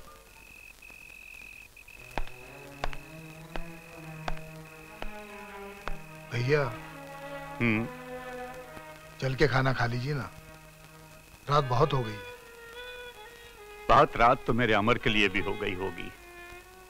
लेकिन खाना हम अमर के साथ ही खाएँगे। भले वो जब भी आए। बहुत ही अजीब निकला ये एक्टर तो। एक्टर लोग मूडी होते ही हैं। क्या दस लाख रुपए में भी उसका मूड नहीं बना? ये सब फ़ीस बढ़ाने के चोंचले हैं। बंगले को देखकर आँखें फट गई उसकी और रात भर में नियत खराब। कहता तो बढ़ा देता। अगर वो नहीं आया तो कल सुबह बम्बई निकल जाइए। मुझे तो ऐसे लग रहा है जैसे गाजर का हलवा पक रहा था और बीच रात में गैस खत्म। ये लो आ गया गैस का सिलेंडर। कहा था अब तक? कितने घंटों से तेरा इंतज़ार कर रहे हैं? अरे देखो सब तय हो चुका है। ज़ुबान से मत फिरना। और ज़्यादा भाव नहीं खाने का समझा? ए, साला बंधुआ मजदूरी कर रहा हूँ क्या इधर मैं? गले में पट्टा बाँध के पालतू नहीं बनने का मेरे को। और हाँ एक बात तुम सब लोग कान खोलकर सुन लो। काम करने का मेरा अपना अलग स्टाइल है। तुम लोगों के वास्ते ही अक्का नाटक में खुद लिख रहा है इसलिए कभी एंट्री करने का और कभी एग्जिट करने का ये मैं डिसाइड करूँगा क्या? अजय। अमर अमर। अमर ये तो सिर्फ़ इतना ही कह रहे थे कि दीनानाथ भैया ने तुम्हारे इंतज़ार में अभी तक खाना भी नहीं खाया। बहुत परेशान है वो। अभी तुम लोग मेरे को इधर रोक लेगा। तो अंदर जाके नाटक का अगला सीन कौन करेगा? तुम लोग। अब बोलो अंदर जाऊँ क्या? हाँ, हाँ, हाँ. जाऊँ? साला। ताऊ जी अमर! अमर! कहाँ है तू? ताऊ जी अगर आप वादा करते हैं कि आप मुझे डांटेंगे नहीं तो ही मैं अंदर आऊँगा। अरे बाबा सामने आएगा तभी तो डांटूँगा ना। ताऊ जी अब देखिए ना ताऊ जी आप ही ने मुझसे कहा था ना कि बेटा मुझे ताऊ जी ताऊ जी कहने का रियाज करो। वही तो मैं कर रहा था ताऊ जी हाँ वो तो कहा था लेकिन ये तो नहीं कहा था प्लीज़ कि प्लीज़ प्लीज़ ताऊ जी प्लीज़ डांट में बाद में खा लूँगा। पहले चल के खाना खा ले। बहुत जोरों से भूख लगी है प्लीज़ इतनी रात तक भटकता रहा। खाना नहीं खा सकता था। पैसे नहीं थे तेरे पास। ताऊ जी दरअसल आज आपके हाथों से खाने को बहुत जी कर रहा है। मुझे तो याद नहीं है लेकिन बचपन में आप ही मुझे खिलाया करते थे। है ना ताऊ जी? तू इतना दुख देता है कि आँसू निकल पड़ते हैं। और इतना सुख भी कि फिर आँसू निकल पड़ते हैं। तुझे तो मैं अपने हाथ से खाना खिलाऊँगा ही। लेकिन अब मेरी उम्र भी हो गई है कि तुम मुझे अपने हाथ से खाना खिलाए क्योंकि बच्चे और बूढ़े एक बराबर हो जाते हैं। लेकिन देर से आने का एक जुर्माना। वो क्या ताऊ जी वो कुर्सी तू जलाएगा। बिल्कुल। हाँ। लीजिए ताऊ जी भाई तुम लोग खाना शुरू करो। हम तो आज अमृत पान कर रहे हैं। ए, ये ले बचपन नहीं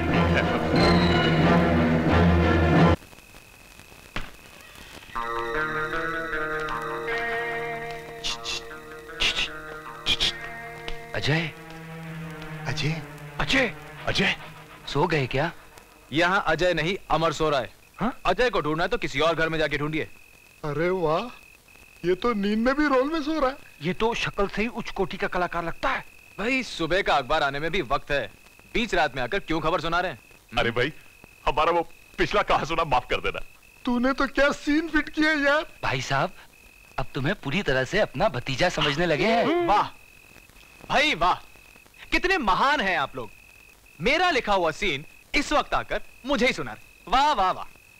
भाई हम तो सिर्फ़ ये कहने आए थे उस नर्स का इस घर से कुछ इंतज़ाम कर दो। मेरा कहने का मतलब है इस घर से उसका पत्ता काट दो। तो आप लोगों को क्या लग रहा है कि मैं सो रहा था? इस वक्त मैं उसी सीन के बारे में सोच रहा था। खाम खा के डिस्टर्ब कर दिया। सोचने दो सोचने दो। एक्टर लोग ऐसे ही सोचते हैं। रीटा भी ऐसे ही सोचती है। Good night good night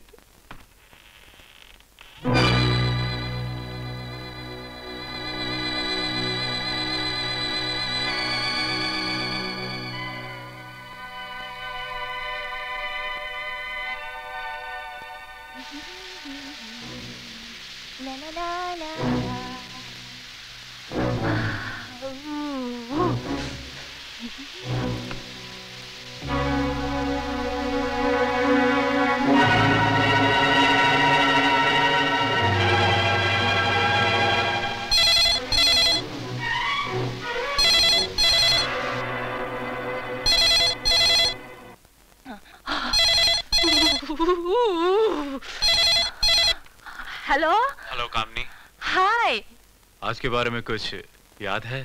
अरे बाबा मुझे याद है। मैं तुम्हारे पास ही आने की तैयारी कर रही हूँ। जल्दी आना डालें अभी आई।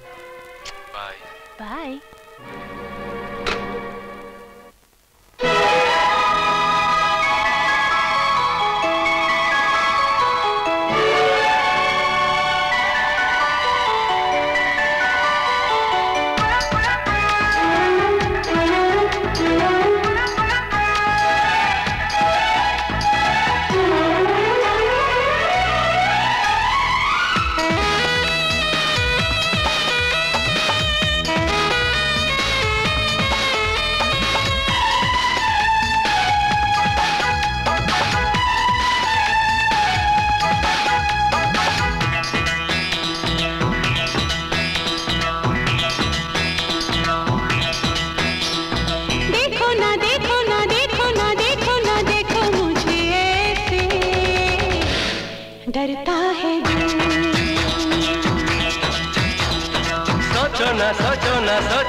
सोचो ना सोचो ना यारा तुझ पे। मरता है दिल। कैसे बताऊँ? चाहत का जादू मुझ पे भी छानी लगा। में खो के मैं भी वफा की दुनिया बसाने लगा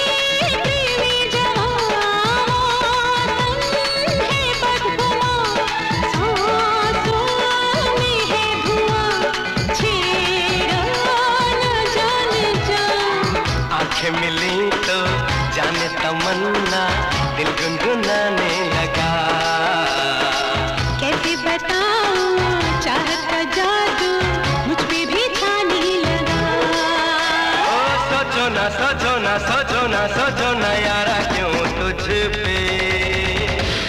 मरता है दिल।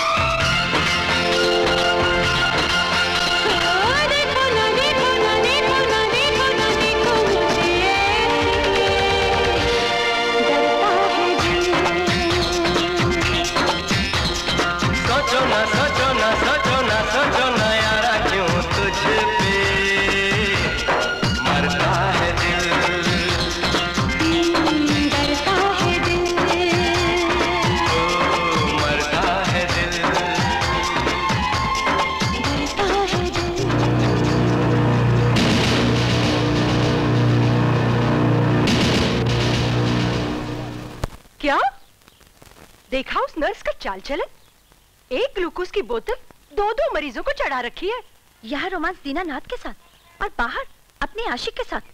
ये तो एक एमटीवी का प्रोग्राम दो दो चैनल पर चल रहा है। यहाँ भी गाना वहाँ भी गुनगुनाना। हम्म, पैसा दीनानाथ का बटोर लेगी और प्यार अपने आशिक का। माफ़ कीजिएगा लेकिन मुझे नहीं लगता कि यह आपकी किटी पार्टी का वक्त है। कामिनी के कैरेक्टर पर कमेंट्री करने के बजाय अगर हम लोग ये सोचे कि हमें अब आगे क्या करना है तो बेहतर होगा। तुम औरतों की बातों में मत पड़ो। ये सोचने का काम हम मर्दों का होता है और मैं सोच चुका हूँ। तुम सीधे दीनानाथ के पास जाओ और उन्हें जाके उस नर्स की हकीकत बताओ।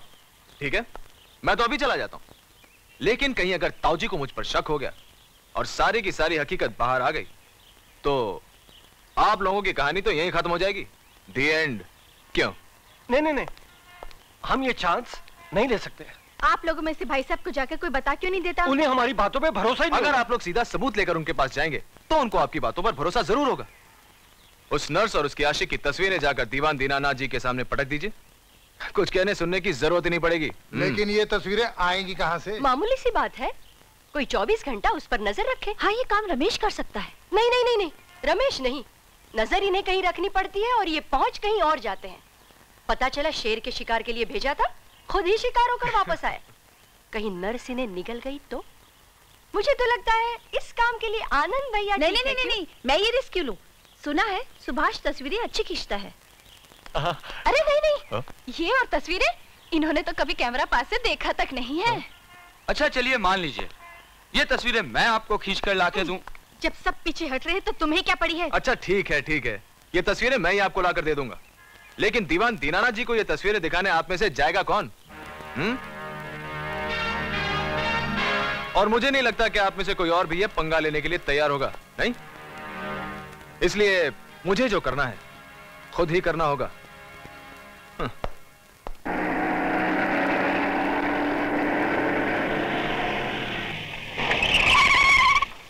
अरे क्या हुआ? कामनी में यहीं से टैक्सी पकड़कर ऑफ़िस चला जाता हूँ। क्यों? पता नहीं क्यों हमेशा मुझे यही खतरा लगा रहता है कि हमें कोई साथ देख न ले। असल खतरा तो उस अमर से लगता है। मुझे यकीन नहीं हो रहा है कि ये दीनानाथ का खोया हुआ भतीजा है। ये उसका अचानक से यहाँ पे टपकना? इत्तेफाक हो सकता है कामनी। मगर तुम अपना हर कदम ये दोनों बातों को ध्यान में रखकर उठाना कि मुमकिन ये भी है कि अमर असली अमर हो और गुंजाइश ये भी हो सकती है कि ये नकली हो। विनोद अमर की असलियत का पता नहीं लगाया जा सकता? तुम्हें इस सब में पड़ने की ज़रूरत नहीं है। दीनानाथ जी को लेकर जो हमारा प्लान है, हमें उसी के मुताबिक चलना है। और तुम वही करती रहो, जो तय हुआ है। कामनी, आज से हम जितना कम से कम मिलें, और तुम जितना दीनानाथ जी के आस पास रहो, उतना अच्छा होगा।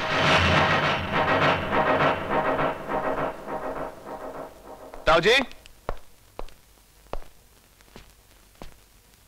जी?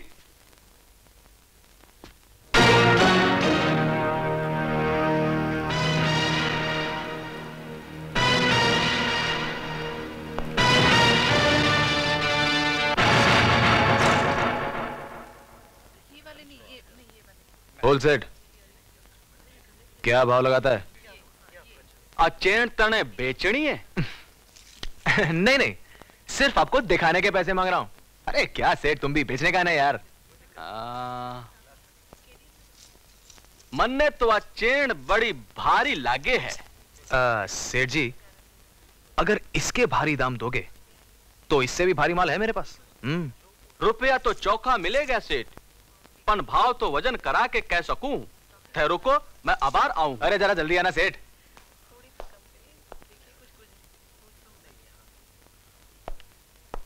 दीवान साहब सब जगह तलाश कर लिया लेकिन वो चेन कहीं नहीं मिली। फिर वो चेन गई कहाँ? ज़मीन खा गई या आसमान निकल गया? इस हवेली में ना कोई बाहर से आया ना कोई बाहर गया। सोने की चेन तो एक मामूली चीज़ है। लेकिन दीवान दीनानाथ के यहाँ चोरी बहुत बड़ी बात है बहुत बड़ी। बड़े भैया हम्म? हम लोगों में से आजकल तो उस कमरे में कोई आता जाता भी नहीं है। कामिनी तुमने तो वो चेन नहीं देखी? भाई साहब के कमरे में तो तुम्हारे सिवा अब कोई आता जाता नहीं। तुम्हारा मतलब है कि वो चेन नहीं। अ, हम लोग ऐसे सोच भी कैसे सकते हैं? ये ये कहना ही चाह रही थी कि शायद तुम चेन रखकर कहीं भूल गई हो। मैं तुम लोगों का मतलब अच्छी तरह से समझती हूँ। हमारे भरोसे का मतलब अगर तुम समझती हो मिनी तो किसी की बात समझने की तुम्हें ज़रूरत नहीं। भैया चोर तो हम में से ही कोई एक है ना? और हम में से यहाँ सिर्फ़ एक आदमी मौजूद नहीं है। अमर वो कहा गया? तुम्हारे कहने का मतलब क्या है? यही कि जब वो यहाँ लौट कर आए तो उसे हम पूछेंगे शायद वो कुछ चेन के बारे में जानता हो। अमर के बारे में भाई साहब सब कुछ जानते हैं। ये भी कि वो यहाँ आने से पहले क्या था और यहाँ पे क्यों आया? मिन्नी।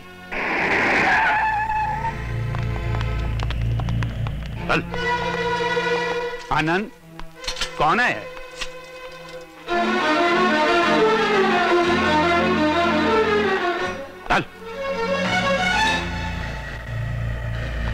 इंस्पेक्टर तांबे ये कैसे आना हुआ? दीवान साहब, ये शख्स आपके सोने की चेन ज्वेलरी शॉप में बेचते हुए पकड़ा गया है। अब देखूँ जरा ये चेन।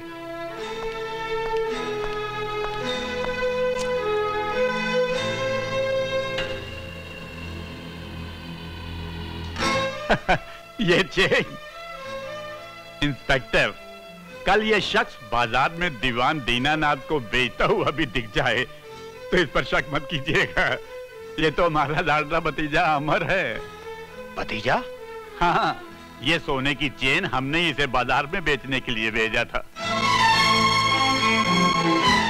जब से ये चेन हमारे घर में आई है हमारी तो किस्मत ही सो गई है। और बदकिस्मती देखिए कि आप फिर इसे हमारे ही घर में ले आए हैं।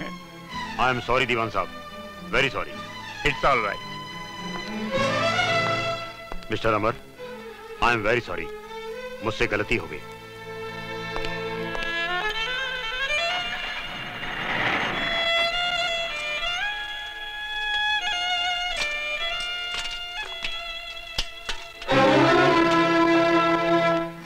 ताऊजी प्लीज़ प्लीज़ ताऊजी. आप मुझे डांटिए, मुझे मारिए। मुझ पर कोड़े बरसाइए, लेकिन मैं आपके हाथ जोड़ता हूँ। आपके पाँव पड़ता हूँ। मुझसे इस तरफ़ पीठ मत मोड़िए मत मोड़िए। मैं तुझे बड़ी से बड़ी सजा भी दे दूँ अमर। लेकिन जो सजा तूने मुझे दी है उसके आगे हर सजा बहुत छोटी होगी। ताऊजी प्लीज़ मुझे माफ़ कर दीजिए ताऊजी मुझे माफ़ कर दीजिए। लेकिन ताऊजी दीवान दीनानाथ का इस इज्जतदार भतीजा मैं एकदम से कैसे बन जाऊँ, ताऊजी? ताऊजी, इतने साल मुझे रोकने टोकने वाला, रूठने मनाने वाला, मुझे डांटने सजा देने वाला कोई था ही नहीं। जो जी में आता वही करता। मुझे मुझे जुए की बहुत बुरी आदत पड़ गई थी, ताऊजी। और आप नहीं जानते, जब मैंने इस मंदिर में कदम रखा था मेरे पैर पूरी तरह कीचड़ में धसे हुए थे। मेरे सर पर तीन लाख रुपए का कर्ज था, जो मैं जुए में हार चुका था। और ताऊ जी पूरी तरह आपका भतीजा बनने से पहले मैं अपने सर से हर कर्ज को उतार देना चाहता था। मेरे पास कोई और चारा नहीं था। इसलिए मुझे ये आखिरी चोरी करनी पड़ी। माफ़ कर दीजिए ताऊ जी मुझे माफ़ कर दीजिए। मुझे माफ़ कर दीजिए। अमर, तू एक बार अपने ताऊ से कहकर तो देखता। वो तेरे सारे कर्जदारों को बिना मोल भाव के खरीद लेता। अरे दीवान दीनानाथ चौधरी, इतना भी गरीब नहीं कि जुए में हारे हुए तीन लाख रुपए की पेमेंट के लिए वो अपने भतीजे को चोरी करने पर मजबूर करते। अरे अमर दुनिया में जुआ कौन नहीं खेलता? बादशाह तख्त के साथ जुआ खेलता है सिपाही तलवार के साथ जुआ खेलता है मुदब्बर कलम के साथ जुआ खेलता है और जिसके पास कुछ नहीं होता वो कौड़ियों और पैसों से जुआ खेलता है। पैदा कर आज के बाद तू ज़िंदगी में जुआ कभी नहीं खेलेगा। कभी नहीं तो जी कभी नहीं। राम सिंह। जी साहब। तिजोरी में से तीन लाख रुपए निकालकर अमर को दे दो। जी। जा और आज ही अपने कर्जदारों का कर्जा उतार कर सर ऊँचा करके अपने ताऊ के पास वापस आ। राम सिंह ले जाओ इसे। जाओ अमर जा।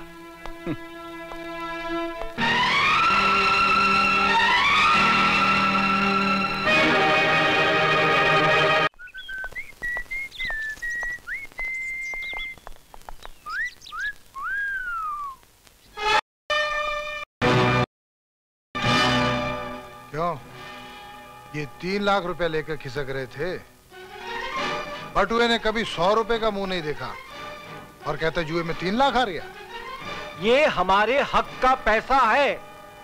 इसे हमें लौटा दे। ए घोचो। ये मेरे कलाकारी का इनाम है। अक्सर अच्छा सीन देखने के बाद लोग तालियाँ मारते हैं। और आपके वो दीनानाथ जी जो है ना वो पैसे उड़ाते हैं। ये पैसा मैंने अपने टैलेंट से कमाया है। क्या?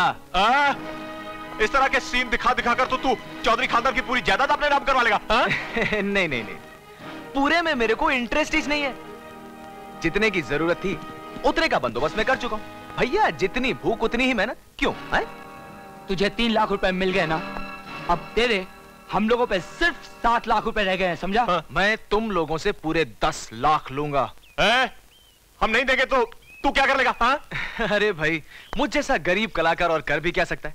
बस इतना करूँगा कि अंदर जाके दीनानाथ जी के सामने एक नया सीन कर दूँगा, जिसमें आपकी सच्चाइयों पर से पर्दा उठ जाएगा। मेरे इनाम के दस लाख रुपए मैं तो ले लूँगा, लेकिन उसके बाद आप लोगों का क्या हाल होगा, ये आप अच्छी तरह जानते तो अब बताइए, उस तरफ़ जाऊँ या उस तरफ़ जाऊँ? Thank you thank you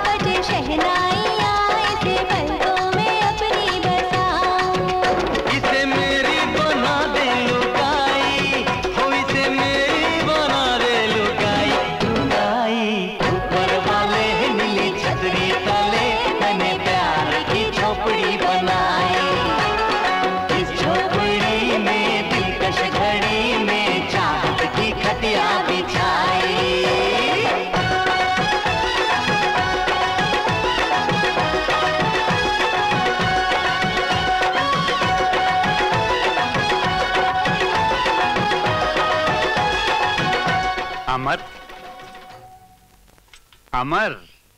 अरे गुड मॉर्निंग ताऊ जी जीते रहो।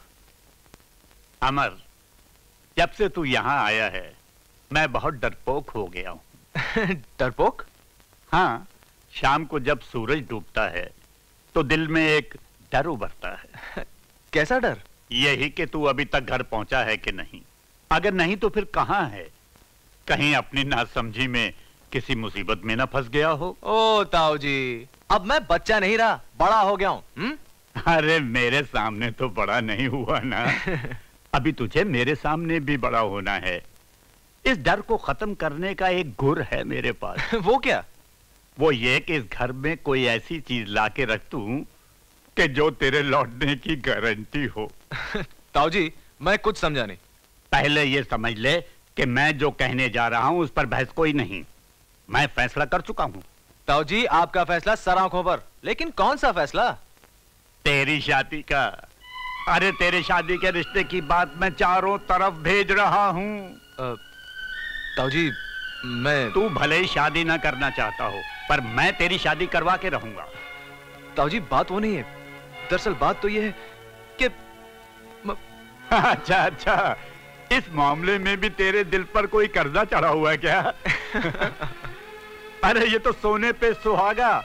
नो मंगनी पच ब्याह जल्दी से मुझे उस लड़की से मिलवा। ताऊ जी एक छोटी सी प्रॉब्लम है। वो लड़की बहुत गरीब है। लड़की वो तेरे लिए होगी। मेरे घर की वो लक्ष्मी होगी। और लक्ष्मी कभी गरीब नहीं हो सकती। हाँ। हम्म हम्म। ये तो मुझे कहाँ ले आयो जय? चलो बाहर चलो। कोई देख लेगा तो ऐतराज करेगा। अरे सुमन इस चार दीवारी में किसी का ऐतराज आ ही नहीं सकता। पूछो क्यों? क्योंकि यहाँ सिर्फ़ हमारी हुकूमत चलती है। तुम हो मलिका फ्लैट। और हम शहनशाह फ्लैट। हम्म। तुम्हारा मतलब है ये फ्लैट हमारा है? बिल्कुल। तुम बस यूँ समझ लो सुमन कि इतने सालों जो मैंने अपने कला की पूजा की है आज उसका प्रसाद मुझे एक साथ मिल गया। दीवान दीनानाथ जी के भतीजे का रोल मैंने कुछ इस खूबी से निभाया है कि उनकी खुशी देखकर उनके भाइयों ने मुझे माला माल कर दिया और उन्हीं पैसों से मैंने अपनी प्यारी सुमन के लिए एक छोटा सा मगर प्यारा सा घर खरीदा है। कैसा लगा? यानी कि अब हम शादी कर सकते हैं? ऑफ़ कोर्स लेकिन अब तुम्हारी शादी अजय के साथ नहीं अमर के साथ होगी। अमर के साथ? हम्म। देखो दीवान दीनानाथ जी मरने से पहले अपने इस भतीजे अमर के सर पे सहरा देखना चाहते हैं। अरे मैं तो उन्हें उनके होने वाली बहू का नाम तक बता चुका हूँ। सुमन अब वो तुमसे मिलना चाहते हैं। प्लीज़ अजय मुझे अपने नाटकों में शामिल मत करो। Oh come on Suman. उनके भतीजे होने का नाटक तो मैं कर रहा हूँ। तुम मेरे होने वाली बीवी होने का नाटक थोड़ी कर रही हो। वो तो हकीकत है है ना? क्या? हाँ?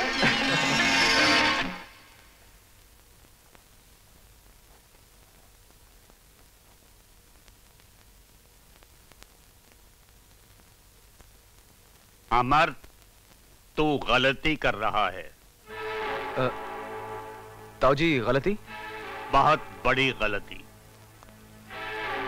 ताऊ जी मैं कुछ समझा नहीं ताऊ जी अरे पगले इतनी अच्छी लड़की मिली है तुझे और तू अभी तक तुम्हारा ही घूम रहा है।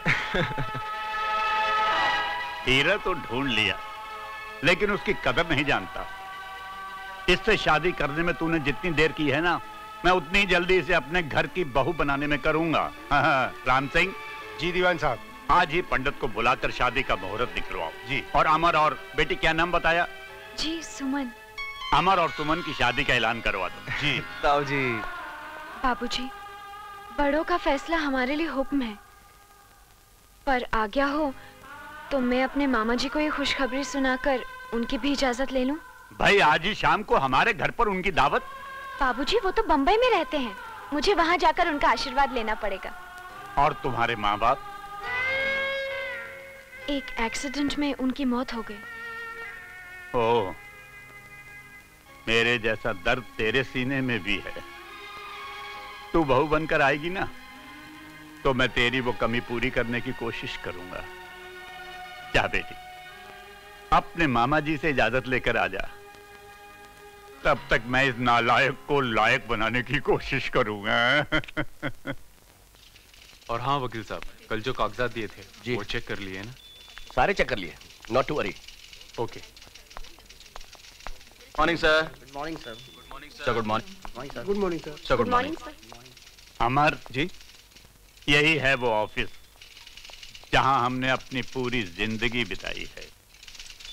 दीवान दीनानाथ ने जो हस्ती जो वजूद बनाया है वो सब इसी ऑफ़िस की बदौलत है। आज से ये ऑफ़िस तुम्हारे हवाले। इसकी देखभाल तुम करोगे। ताऊ जी ऐसे भी क्या जल्दी है? पहले यहाँ का सारा कामकाज तो सीख लूँ उसके बाद ये ज़िम्मेदारी भी उठा लूँगा हुँ? ज़िम्मेदारी जब कंधों पर पड़े तो काम जल्दी समझ में आ जाता है।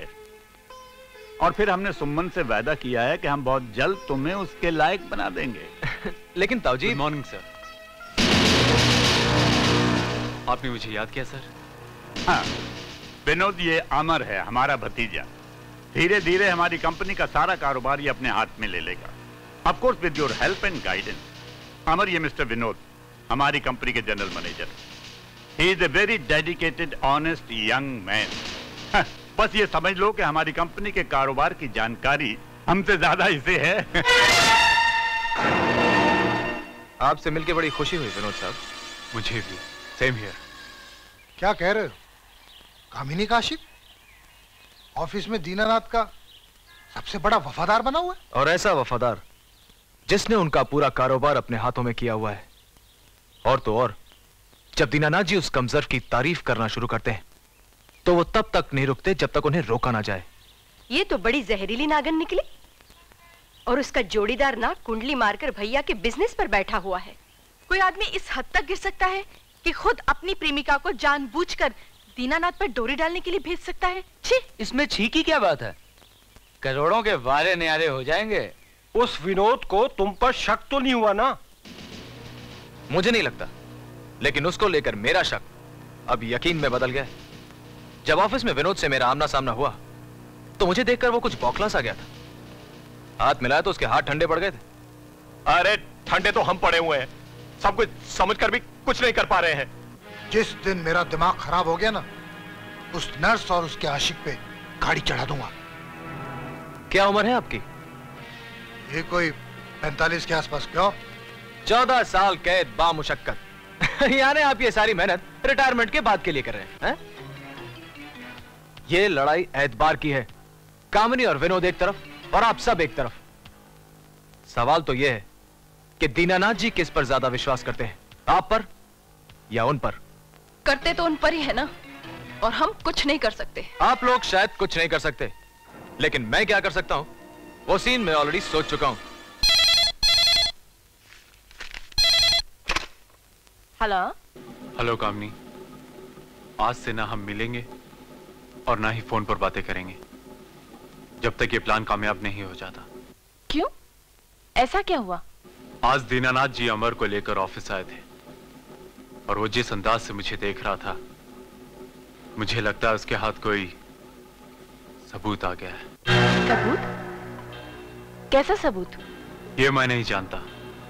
कामनी तुम अमर पर नज़र रखो और देखना कोई गलती ना कर बैठना। वो ज़रूरत से ज़्यादा चालाक लगता है। हाँ हम मार्केट जाएँगे और मार्केट के बाद पार्लर भी होकर हम आह, अरे अमर तुम? हम्म? आ, कुछ काम था? हम्म, ऐसे सोचा तुम्हें गुड नाइट कह दो। Good night good night Kamini. Sleep well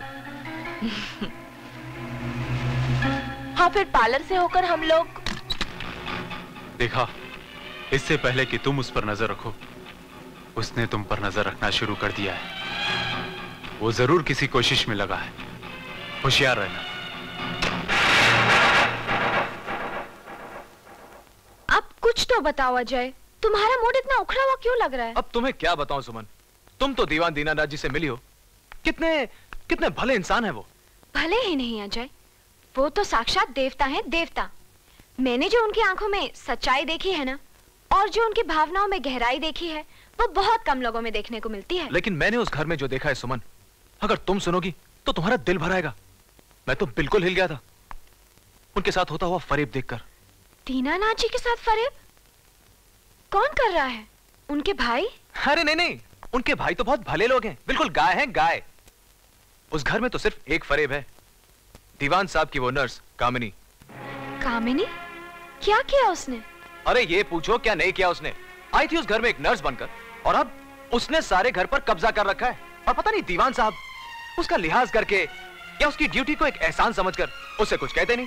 और वो कमीनी मेरा मतलब है कामिनी अपने उस बॉयफ्रेंड विनोद के साथ मिलकर उन्हीं के खिलाफ साजिश कर रही है। मुझे यकीन नहीं होता अजय। सुमन ये सब मैं अपनी आँखों के सामने होता हुआ देख रहा हूँ। उधर ऑफ़िस में विनोद ने दीवान साहब के कारोबार की लगाम अपने हाथों में की हुई है। और इधर घर में कामिनी ने उस बेबस अपाहिज को अपने हाथों की कठपुतली बना रखा है ताकि दोनों मिलकर उनकी जायदाद को पूरी तरह निकल जाएँ। तो कोई जाकर उन्हें ये बात बताता क्यों नहीं? कैसे बताएँ सुमन? सब लोग उनकी इतनी इज़्ज़त करते हैं कि किसी की हिम्मत ही नहीं पड़ती। सुमन आज अगर उन्हें कोई समझा सकता है तो वो तुम हो। मैं? हाँ सुमन तुम। न जाने तुमने उन पर क्या जादू कर दिया? आजकल वो हर वक्त तुम्हारी ही बातें करते हैं। मेरी होने वाली बहू ऐसी है मेरी होने वाली बहू वैसी है। सुमन मैं तुम्हारे हाथ छोड़ता हूँ। दीवान साहब की ज़िंदगी भर की मेहनत उनकी कमाई को किसी साजिश का शिकार मत होने दो तुम।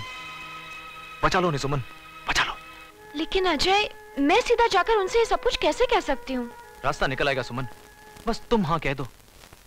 सुमन तुमने अपने मामा से इजाज़त ले ली?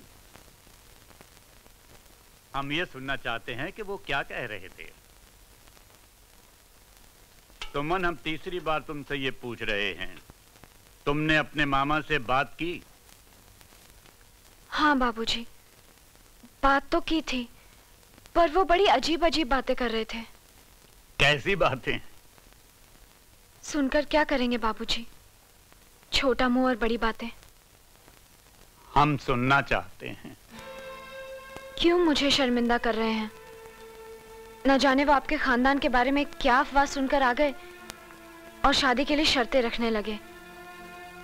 मामा जी भले ही मुझे आपकी बहू बनने से रोक लें लेकिन मैं आपकी बेटी तो बन ही सकती हूँ ना?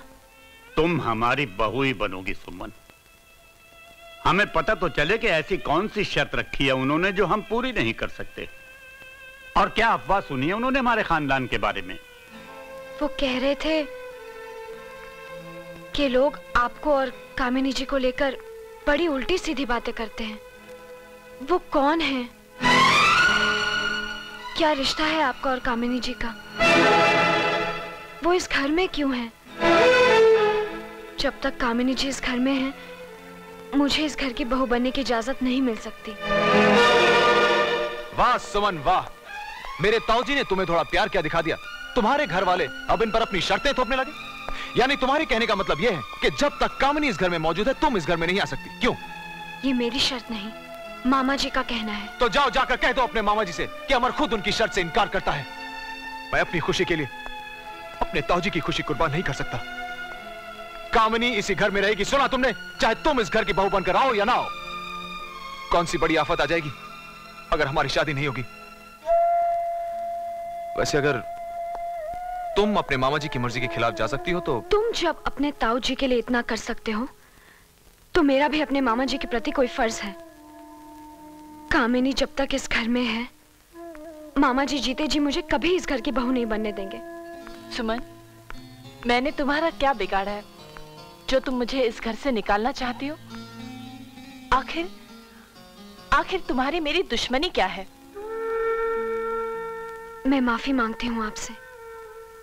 दुश्मनी नहीं मेरी एक मजबूरी थी जो मैं बाबूजी को बताने आई थी। और अब मैं चलती हूँ।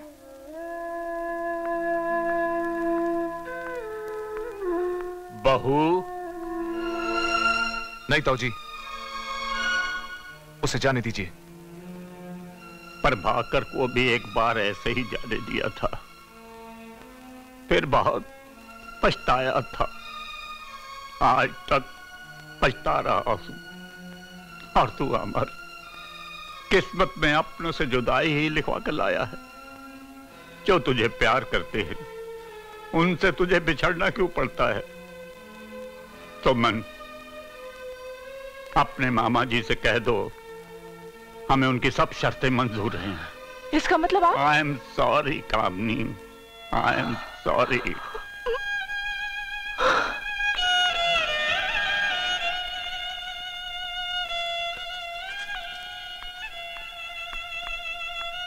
मुझसे बहुत मुश्किल रोल करवाया है अजय। जैसे मुझसे कोई पाप करवाया हो। नहीं सुमन नहीं। ये पाप नहीं ये तो पुण्य था। जो पाप यहाँ चल रहा था वो अब खत्म हो चुका है। ट्रस्ट मी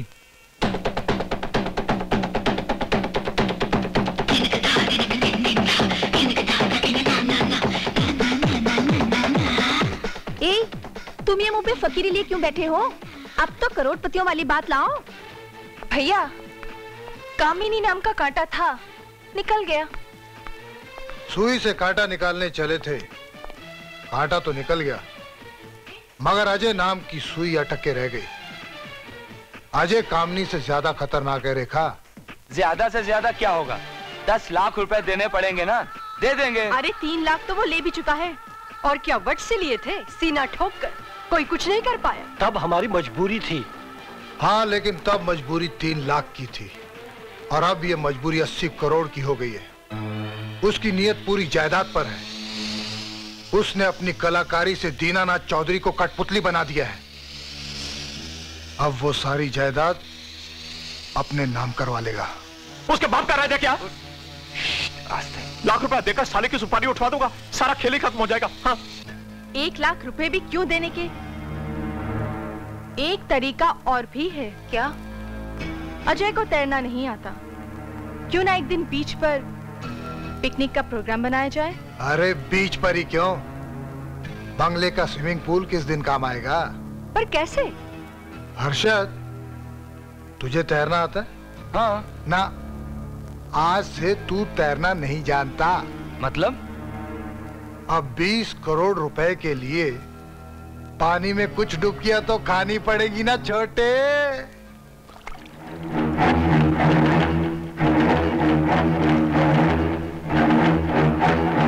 बचाओ! अब, अब। कोई कोई बचाओ मुझे! कोई मुझे बचाओ! अबे हर्षद है ए हर्षद! अबे तुझे तैरना नहीं आता क्या? अरे अरे कोई बचाओ कोई है? अरे चले हाथ दे हाथ दे! हर्षद अरे अरे कोई इसे बचाओ! अबे जा ना। जा बचाओ उसे। हर्षद हाथ दे चला जा, जा। लगता साला नहीं कूदेगा। लगी शब कूदेगा। अरे काम मर गए सब के सब। अरे ये डूब जाएगा अरे हर्षद। अबे जा बचा ना। लगता है साला नहीं कूदेगा। लगी शर कूदेगा। नहीं कूदेगा। अबे हर्षद हर्षद मैं आता हूँ मैं आता हूँ।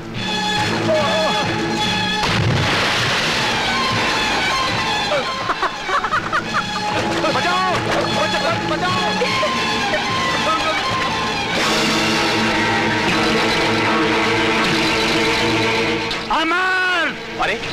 ये यहाँ क्या कर रहा है? ये यहाँ रहकर भी क्या कर लेगा अमर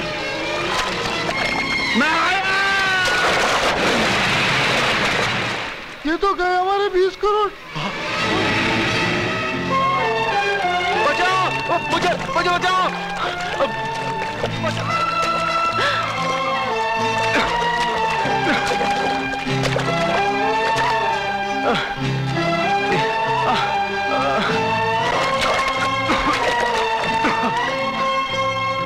भाई साहब भाई साहब रमेश तो अमर को संभाल? छोड़ दे।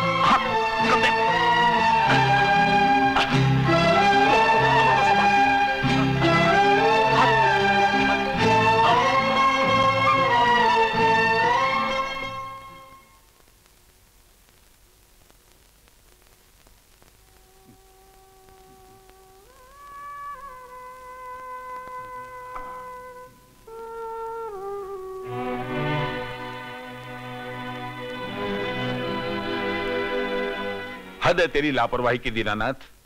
अरे जरा सा बेहोश क्या हुआ? तू राशन पानी बनाने के लिए दवाइयाँ लेके यहाँ पहुँच गया हाँ? चल तकिया ऊँचा कर। हाँ। अब अच्छी तरह से होश में आ जा कह देता हूँ। अरे तेरी उम्र तुझे अपनी सेहत से खिलवाड़ करने की इजाज़त नहीं देती। जब अमर को तैरना ही नहीं आता था तो उसे पानी में कूदने की क्या ज़रूरत थी? देखा उसका बचपना? तूने उसकी इंसानियत देखी? तैरना न जानते हुए भी हर्षद को बचाने के लिए वो पानी में कूद गया। अरे मगर तू क्यों पानी में कूदा? तुझे कुछ हो जाता तो? अमर को कुछ हो जाता तो? अमर तो ठीक है ना? हाँ। कहाँ है वो? कहाँ है? ताऊजी मुझे माफ़ कर दीजिए ताऊजी मेरी वजह से आपको बस कर। तेरी वजह से बेटा लगता है आज मुझे प्रभाकर की माफ़ी मिल गई। हाँ इधर आ। अरे आओ ना। आओ। अरे अरे इधर नहीं इधर आ इधर आ। डॉक्टर पीछे हट पीछे। हट हटो ना पीछे। हाँ। हाँ ताऊ जी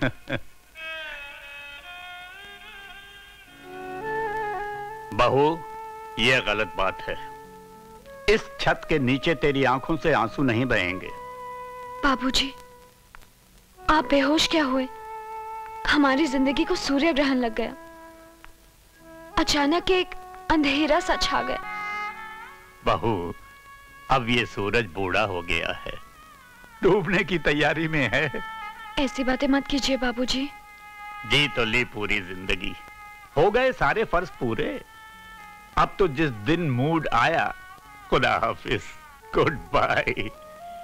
लेकिन नहीं अभी एक आखिरी फ़र्ज़ पूरा करना है। राम सिंह जी साहब। अपने वकील साहब को बुलवा भेजो। उनसे कहो कि हमें अपना वसीयतनामा तैयार करना है। जी बहुत अच्छा। और सुनो जी। ये डॉक्टर को ले जाओ। आइए डॉक्टर साहब। दीनानाथ तू बाज नहीं आएगा। हम्म। चलिए। दीवान दीनानाथ चौधरी की पूरी जायदाद करीब 80 करोड़ रुपए की है। इनकी वसीयत के मुताबिक। पूरी जायदाद के पाँच बराबर हिस्से किए जाएँगे।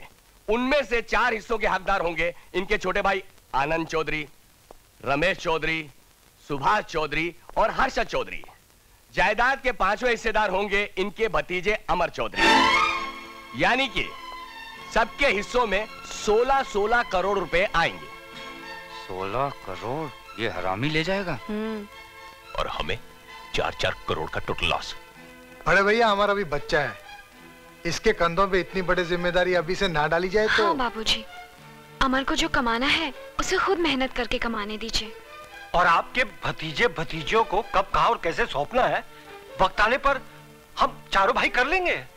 रमेश मेरे पाँच भाई थे। जायदाद भी पाँच बराबर हिस्सों में बांटी जाएगी। फ़र्क इतना है कि प्रभाकर का हिस्सा उनके बेटे अमर को मिलेगा। वकील साहब। जी दीवान साहब। कार्रवाई शुरू कीजिए। जी। यहाँ किस जायदाद के पाँच हिस्से करके अपना दिल बहला रहे हो दीनानाथ जी? विनोद? क्योंकि तुम्हारी जायदाद पर तो सिर्फ़ हमारा हक है दीवान दीनानाथ चौधरी। जायदाद पर तुम्हारा हक? क्या बक रही हो? तो क्या तुम्हारी सेवा हमने फोकट में की थी? सेवा की है तो मेवा भी मिलना चाहिए। सो मिल गया। इतने सालों से तुम्हारे कारोबार को संभाल कर रखा। क्या सोचकर? यही ना कि तुम्हारी मौत के बाद इन सब के वारिस हम होंगे। लेकिन तुमने तुमने मेरी मेहनत के फल का फ्रूट चाट बनाकर इन रिश्तेदारों में बांट मुझे तो तुम पर भरोसा भी नहीं है। पहले तो कामनी को घर से निकाल दिया। कल कल मुझे भी हकाल देंगे। ए, तेरे बाप का राज है। तेरी वफादारी और मेहनत की कीमत अस्सी करोड़ है क्या? दिमाग फिर गया दोनों का। अपनी फ़ीस का हिसाब किताब जोड़कर भिजवा देना। चुकता हो जाएगा। ये रहा मेरे और कामनी के फ़ीस का हिसाब किताब। लीजिए वकील साहब आप पढ़िए। क्योंकि यह कानूनी चिट्ठी है। दीनानाथ जी इस लीगल नोटिस के मुताबिक तो आपकी पूरी जायदाद ही नहीं, बल्कि ये बंगला, आपकी सारी प्रॉपर्टीज़, बैंक बैलेंस, एक एक चीज़ पर विनोद और कामनी का हक हो गया है। विनोद, नमक हराम कागजात की हेरा फेरी करके, वफादारी की काली पट्टी मेरी आँखों पर चढ़ाकर, यहाँ वहाँ मुझसे दस्तखत करवाकर तू मेरा एक एक पैसा हड़प कर गया। हराम ए, तू! तमीज से और नीची आवाज़ में बात कर। तुम लोग अपने भैया के बंगले में नहीं बल्कि मेरे बंगले में बैठे हो। और गनीमत समझो कि तुम लोगों को धक्के मारकर नहीं निकलवा दिया। लेकिन कल तक कल तक ये बंगला खाली हो जाना चाहिए। समझ गए सब लोग? चलो कामनी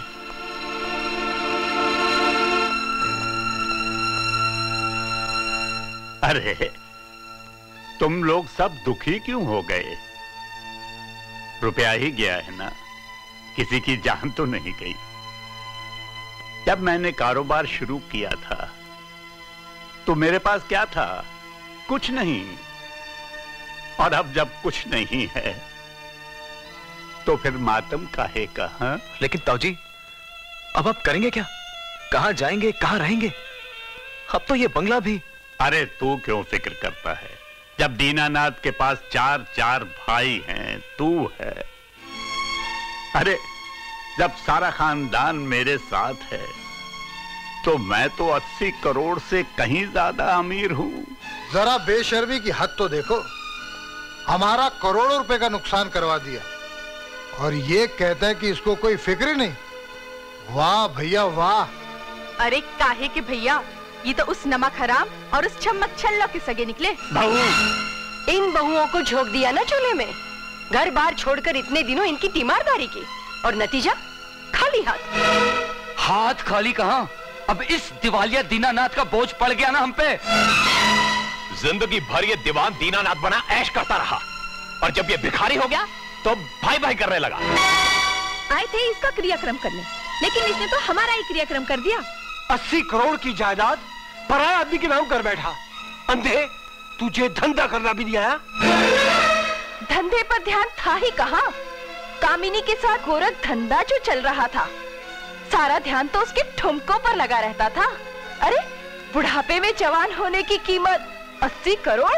बस बस करो तुम लोग। बहुत हो गया। अब एक लफ्ज और निकाला तो जबान खींच लूँगा तुम्हारी। ए भाड़ नौटंकी बाज। अपना पेटी बाजा उठा और दुकान बढ़ा। तेरे नाटक के शो के पैसे तक डूब गए। बुढ़ा फकीर हो गया फकीर तेरी तो अमर। चाचा पर हाथ नहीं उठाते। कौन किसका चचा बुड्ढे ये तेरा चश्मे बदूर भतीजा अमर नहीं है। ये तो कोई सड़क छाप नाटकबाज अजय है।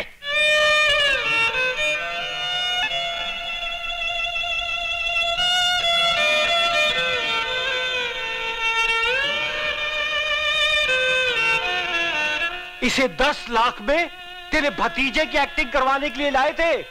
सारा शो ही फ्लॉप हो गया। दस लाख?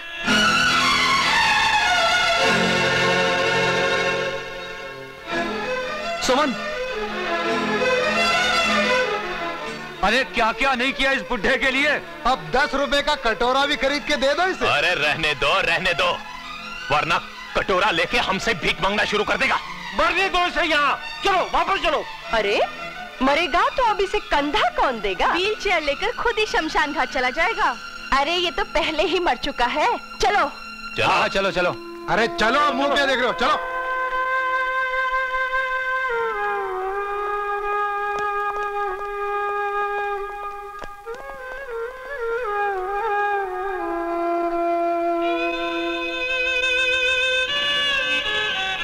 यानी तू, तेरा प्यार उस दस लाख रुपए के लिए था। इस अपाहिज बूढ़े के साथ इतना बड़ा फरेब अस्सी करोड़ जाने का मुझे कोई गम नहीं। इन्हीं हाथों से कमाए थे, इन्हीं हाथों से गवा दिए, मगर तू, तूने दीनानाथ को कंगाल कर दिया। अमर की यादों की चिता मेरे सीने में जलाकर मेरी ज़िंदगी को बेमैनी कर दिया। थूक दिया मेरे जज्बात पर। थूक दिया मेरे जज्बात पर।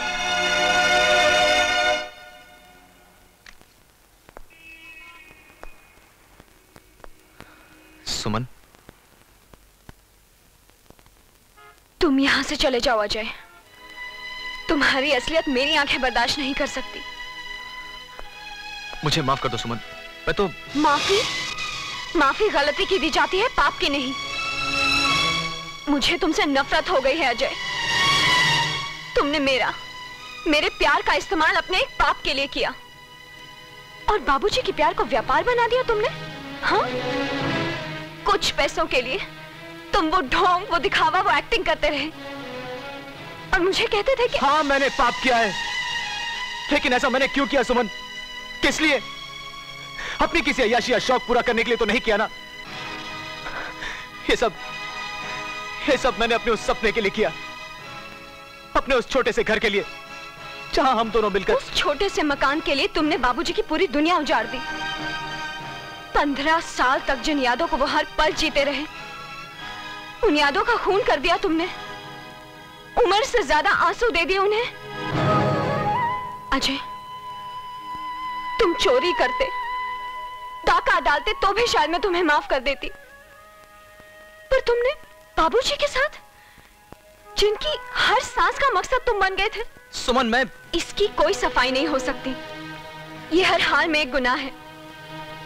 और जब तुम बाबूजी के प्यार के साथ ये सुलूक कर सकते हो तो जाने मेरे प्यार के साथ क्या हश्र करोगे। वैसे भी जिस अजय को मैं प्यार करती थी वो तो शायद तुम्हारे अंदर मर चुका है। और तुम्हें मैं नहीं पहचानती। सो प्लीज़ तुम यहाँ से चले जाओ।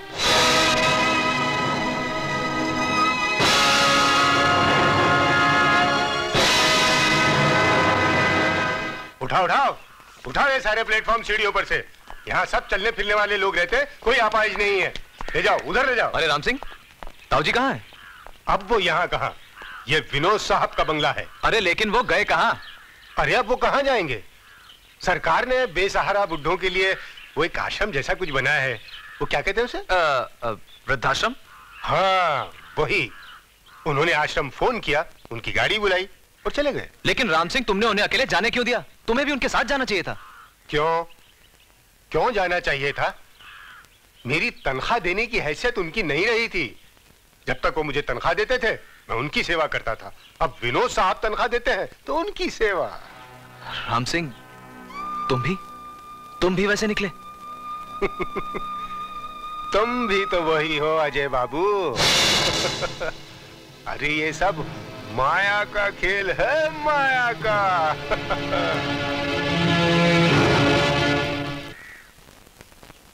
अब ये डेढ़ हज़ार की क्या ज़रूरत है? सोच रहा था नया चश्मा बनवा के कुछ किताबें खरीद लेता या वो काटना बहुत मुश्किल हो रहा है छोटे बहुत मुश्किल हो रहा है।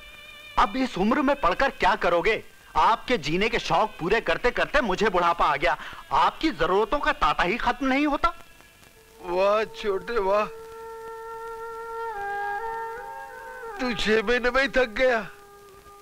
बचपन से लेकर जवानी तक ही तुम्हारी जरूरतें पूरी करते करते मैं तो नहीं थका। जा, इतना तो कर। बड़े भाई की जाकर मौत की दुआएँ मांग। जा क्या चला जा।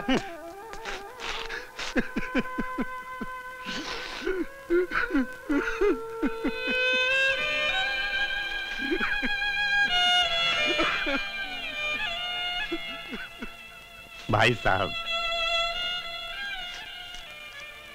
फ़िलहाल तो हज़ार रुपए हैं। पेंशन आने पर पाँच सौ और दे दूँगा। लीजिए ना। आपको ऐनक बनवानी है, किताबें खरीदनी है। रख लीजिए ना। पढ़ने का शौक आपको भी है, पढ़ने का शौक मुझे भी है। खूब गुजरेगी जब मिल बैठकर पढ़ेंगे दीवाने दो। वाह, ये भी क्या जगह है, जहाँ अपने बेगाने हो जाते हैं और बेगाने अपने।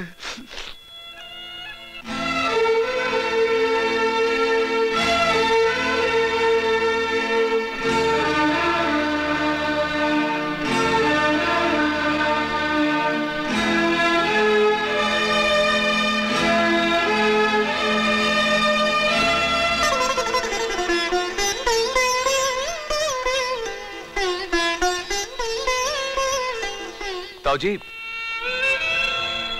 ताऊ जी, आपका शो अभी तक खत्म नहीं हुआ। वो 80 करोड़ रुपया लेने के लिए जो नाटक किया था, वो तो गए। पर्दा गिर चुका है। अब तो दीनानाथ के पास आपके शो के टिकट खरीदने के पैसे भी नहीं हैं। फिर अपना वक्त जाया करने के लिए क्यों खामखा यहाँ चले आए? अरे जा, दुनिया में बहुत दौलतमंद हैं। उन्हें अपनी एक्टिंग दिखा और पैसा बटोर बटोर। ताऊ जी यकीन जानिए ताऊ जी आज आज मेरे अंदर के उस शैतान का शौक खत्म हो चुका है? मर गया वो हैवान। अब तो ज़िंदगी भर ज़िंदगी भर मुझे अमर का रोल निभाना है। आपके अमर का। और ताऊ जी इस अमर के होते हुए आप आप यहाँ कैसे रह सकते हैं? चलिए चलिए मेरे साथ। नहीं। उस दुनिया में भी रहकर देख चुका हूँ। उस दुनिया का धोखा, परे, लालच, यहाँ की दुनिया से बहुत ज़्यादा दर्दनाक है। और फिर जब मेरे अपने मुझे दफन कर चुके हैं तो तू पराया होकर इस कब्र को खोदकर क्यों एक ज़िंदा लाश का बोझ अपने कंधे पर लेने आया? जा चला जा, यहाँ से अजय। ताऊ जी! आप आप मुझे अजय नहीं बुला सकते। समझे आप? ताऊ जी, मुझे डांटिए, मुझे मारिए। लेकिन अपना अमर समझकर। जब से मैंने होश संभाला है, अपने आप को अनाथ पाया। लेकिन ताऊ जी, आपसे मिलने के बाद मुझे एक नई दुनिया मिल गई है। मुझे अजय बुलाकर, मुझे दोबारा अनाथ मत कीजिए आप। मुझसे मेरी ये दुनिया मत छीनिए।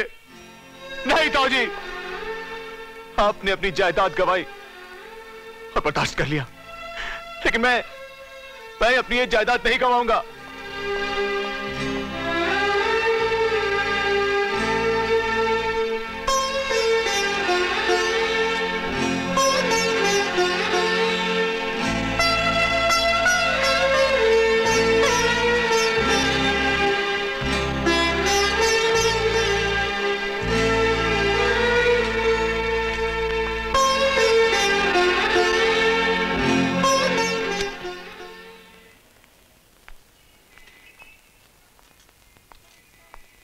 अमर ये तू मुझे कहाँ ले आया? किसका घर है ये? आपका ही घर है बाबूजी। सुमन तू भी तू भी मज़ाक कर रही है?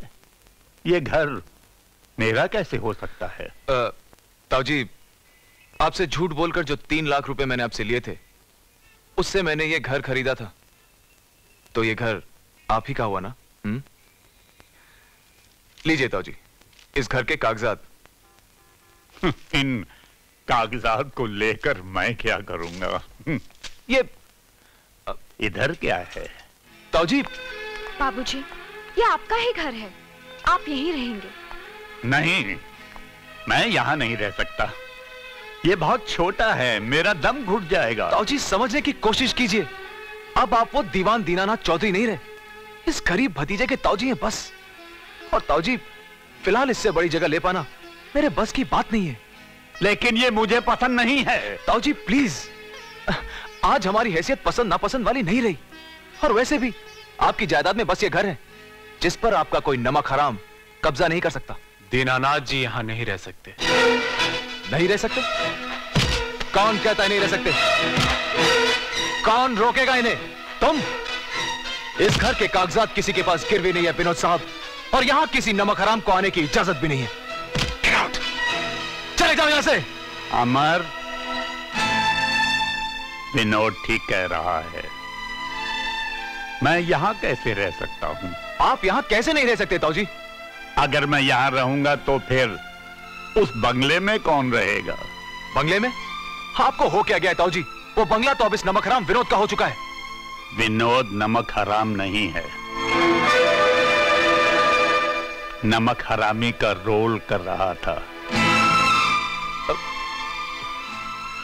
क्या मतलब है आपका ताऊ जी? यही भतीजे कि तेरा ताऊ तुझसे भी बहुत बड़ा एक्टर है। जिस तरह तू उस चंडाल चौकड़ी यानी मेरे चारों भाइयों के साथ मिलकर मुझे नाटक दिखा रहा था उसी तरह मैं विनोद राम सिंह और कामनी के साथ मिलकर अपने भाइयों को नाटक दिखा रहा था।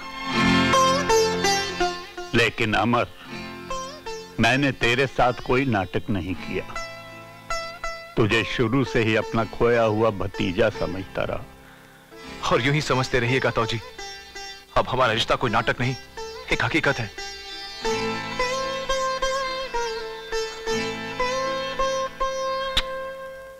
राम सिंह। जी साहब। अब बाकी रिश्तों की हकीकत से भी पर्दा उठा दिया जाए। हमारे भाइयों को खुशखबरी भेज दो कि सब कुछ वापस मिल गया है। सब कुछ।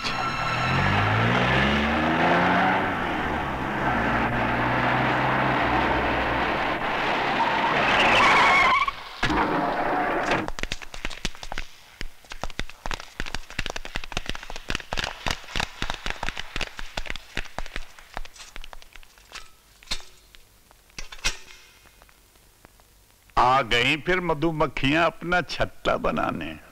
भैया, भैया, भैया, भैया, भैया, हमें माफ़ कर दीजिए, भैया, हमें माफ़ कर दीजिए, भैया। भैया हमें माफ़ कर वाह वाह। होंठों पे मिश्री और मुँह में डंक। भैया अरे इस रिश्ते को तो तुम चारों भाई और तुम्हारी बीवियों ने मिलकर कसाईयों की तरह काट दिया। और अब फिर अपने लालची कंधों पर मेरा जनाजा उठाने आ गए। भैया आप हमें गलत समझ रहे हैं। गलत तो तुम लोग समझ रहे थे, बेवकूफो। जो ये समझते रहे कि दीनानाथ की जायदाद, दौलत, पैसा सिर्फ़ अस्सी करोड़ है।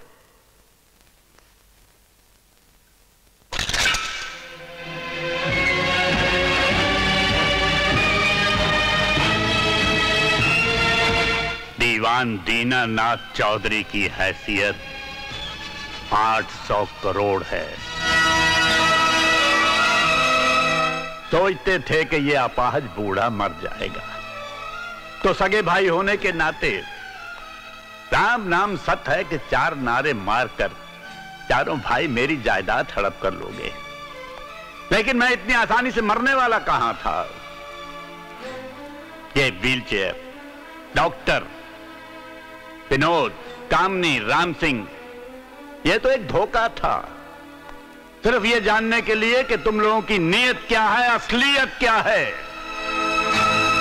दिवालिया होने का दिखावा इसलिए था कि पता चले कि कंगाल दीनानाथ के अपने सगे कौन हैं। और अपने सगे निकले ये पराए लोग, जिन्होंने दीनानाथ के दर्द पर खून के आँसू बहाए। और मेरे अपने खून वालों ने आँखों से आंसुओं की बजाय मुँह से राल टपकाई। अरे पैसा किसको प्यारा नहीं? यहाँ पैसों की ज़रूरत हर एक को है। अमर भी पैसों के लिए तुम लोगों के साथ मिल गया। लेकिन फ़र्क इतना था कि ये गरीब जरूरतमंद था। और तुम लोग लालची, भूखे गिद्धों से भी ज़्यादा लालची। भैया, हमें माफ़ कर दो भैया। भैया। जाओ माफ़ किया। रुक जाओ। मैंने कहा था जाओ माफ़ किया। गेट आउट गार्ड अगर ये लोग पाँच मिनट के अंदर इस बंगले से बाहर ना जाएँ तो इन्हें धक्के मारकर निकाल दो और इनकी गाड़ियों को आग लगा दो। गेट आउट यू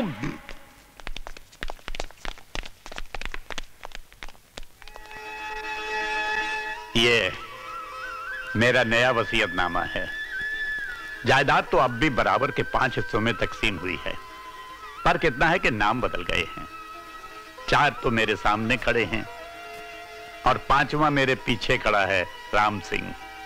मालिक आप पहले ही मुझे इतना दे चुके हैं और अब ये? अरे राम सिंह तेरा हिस्सा क्या मैं लेकर अपने साथ ऊपर जाऊँगा?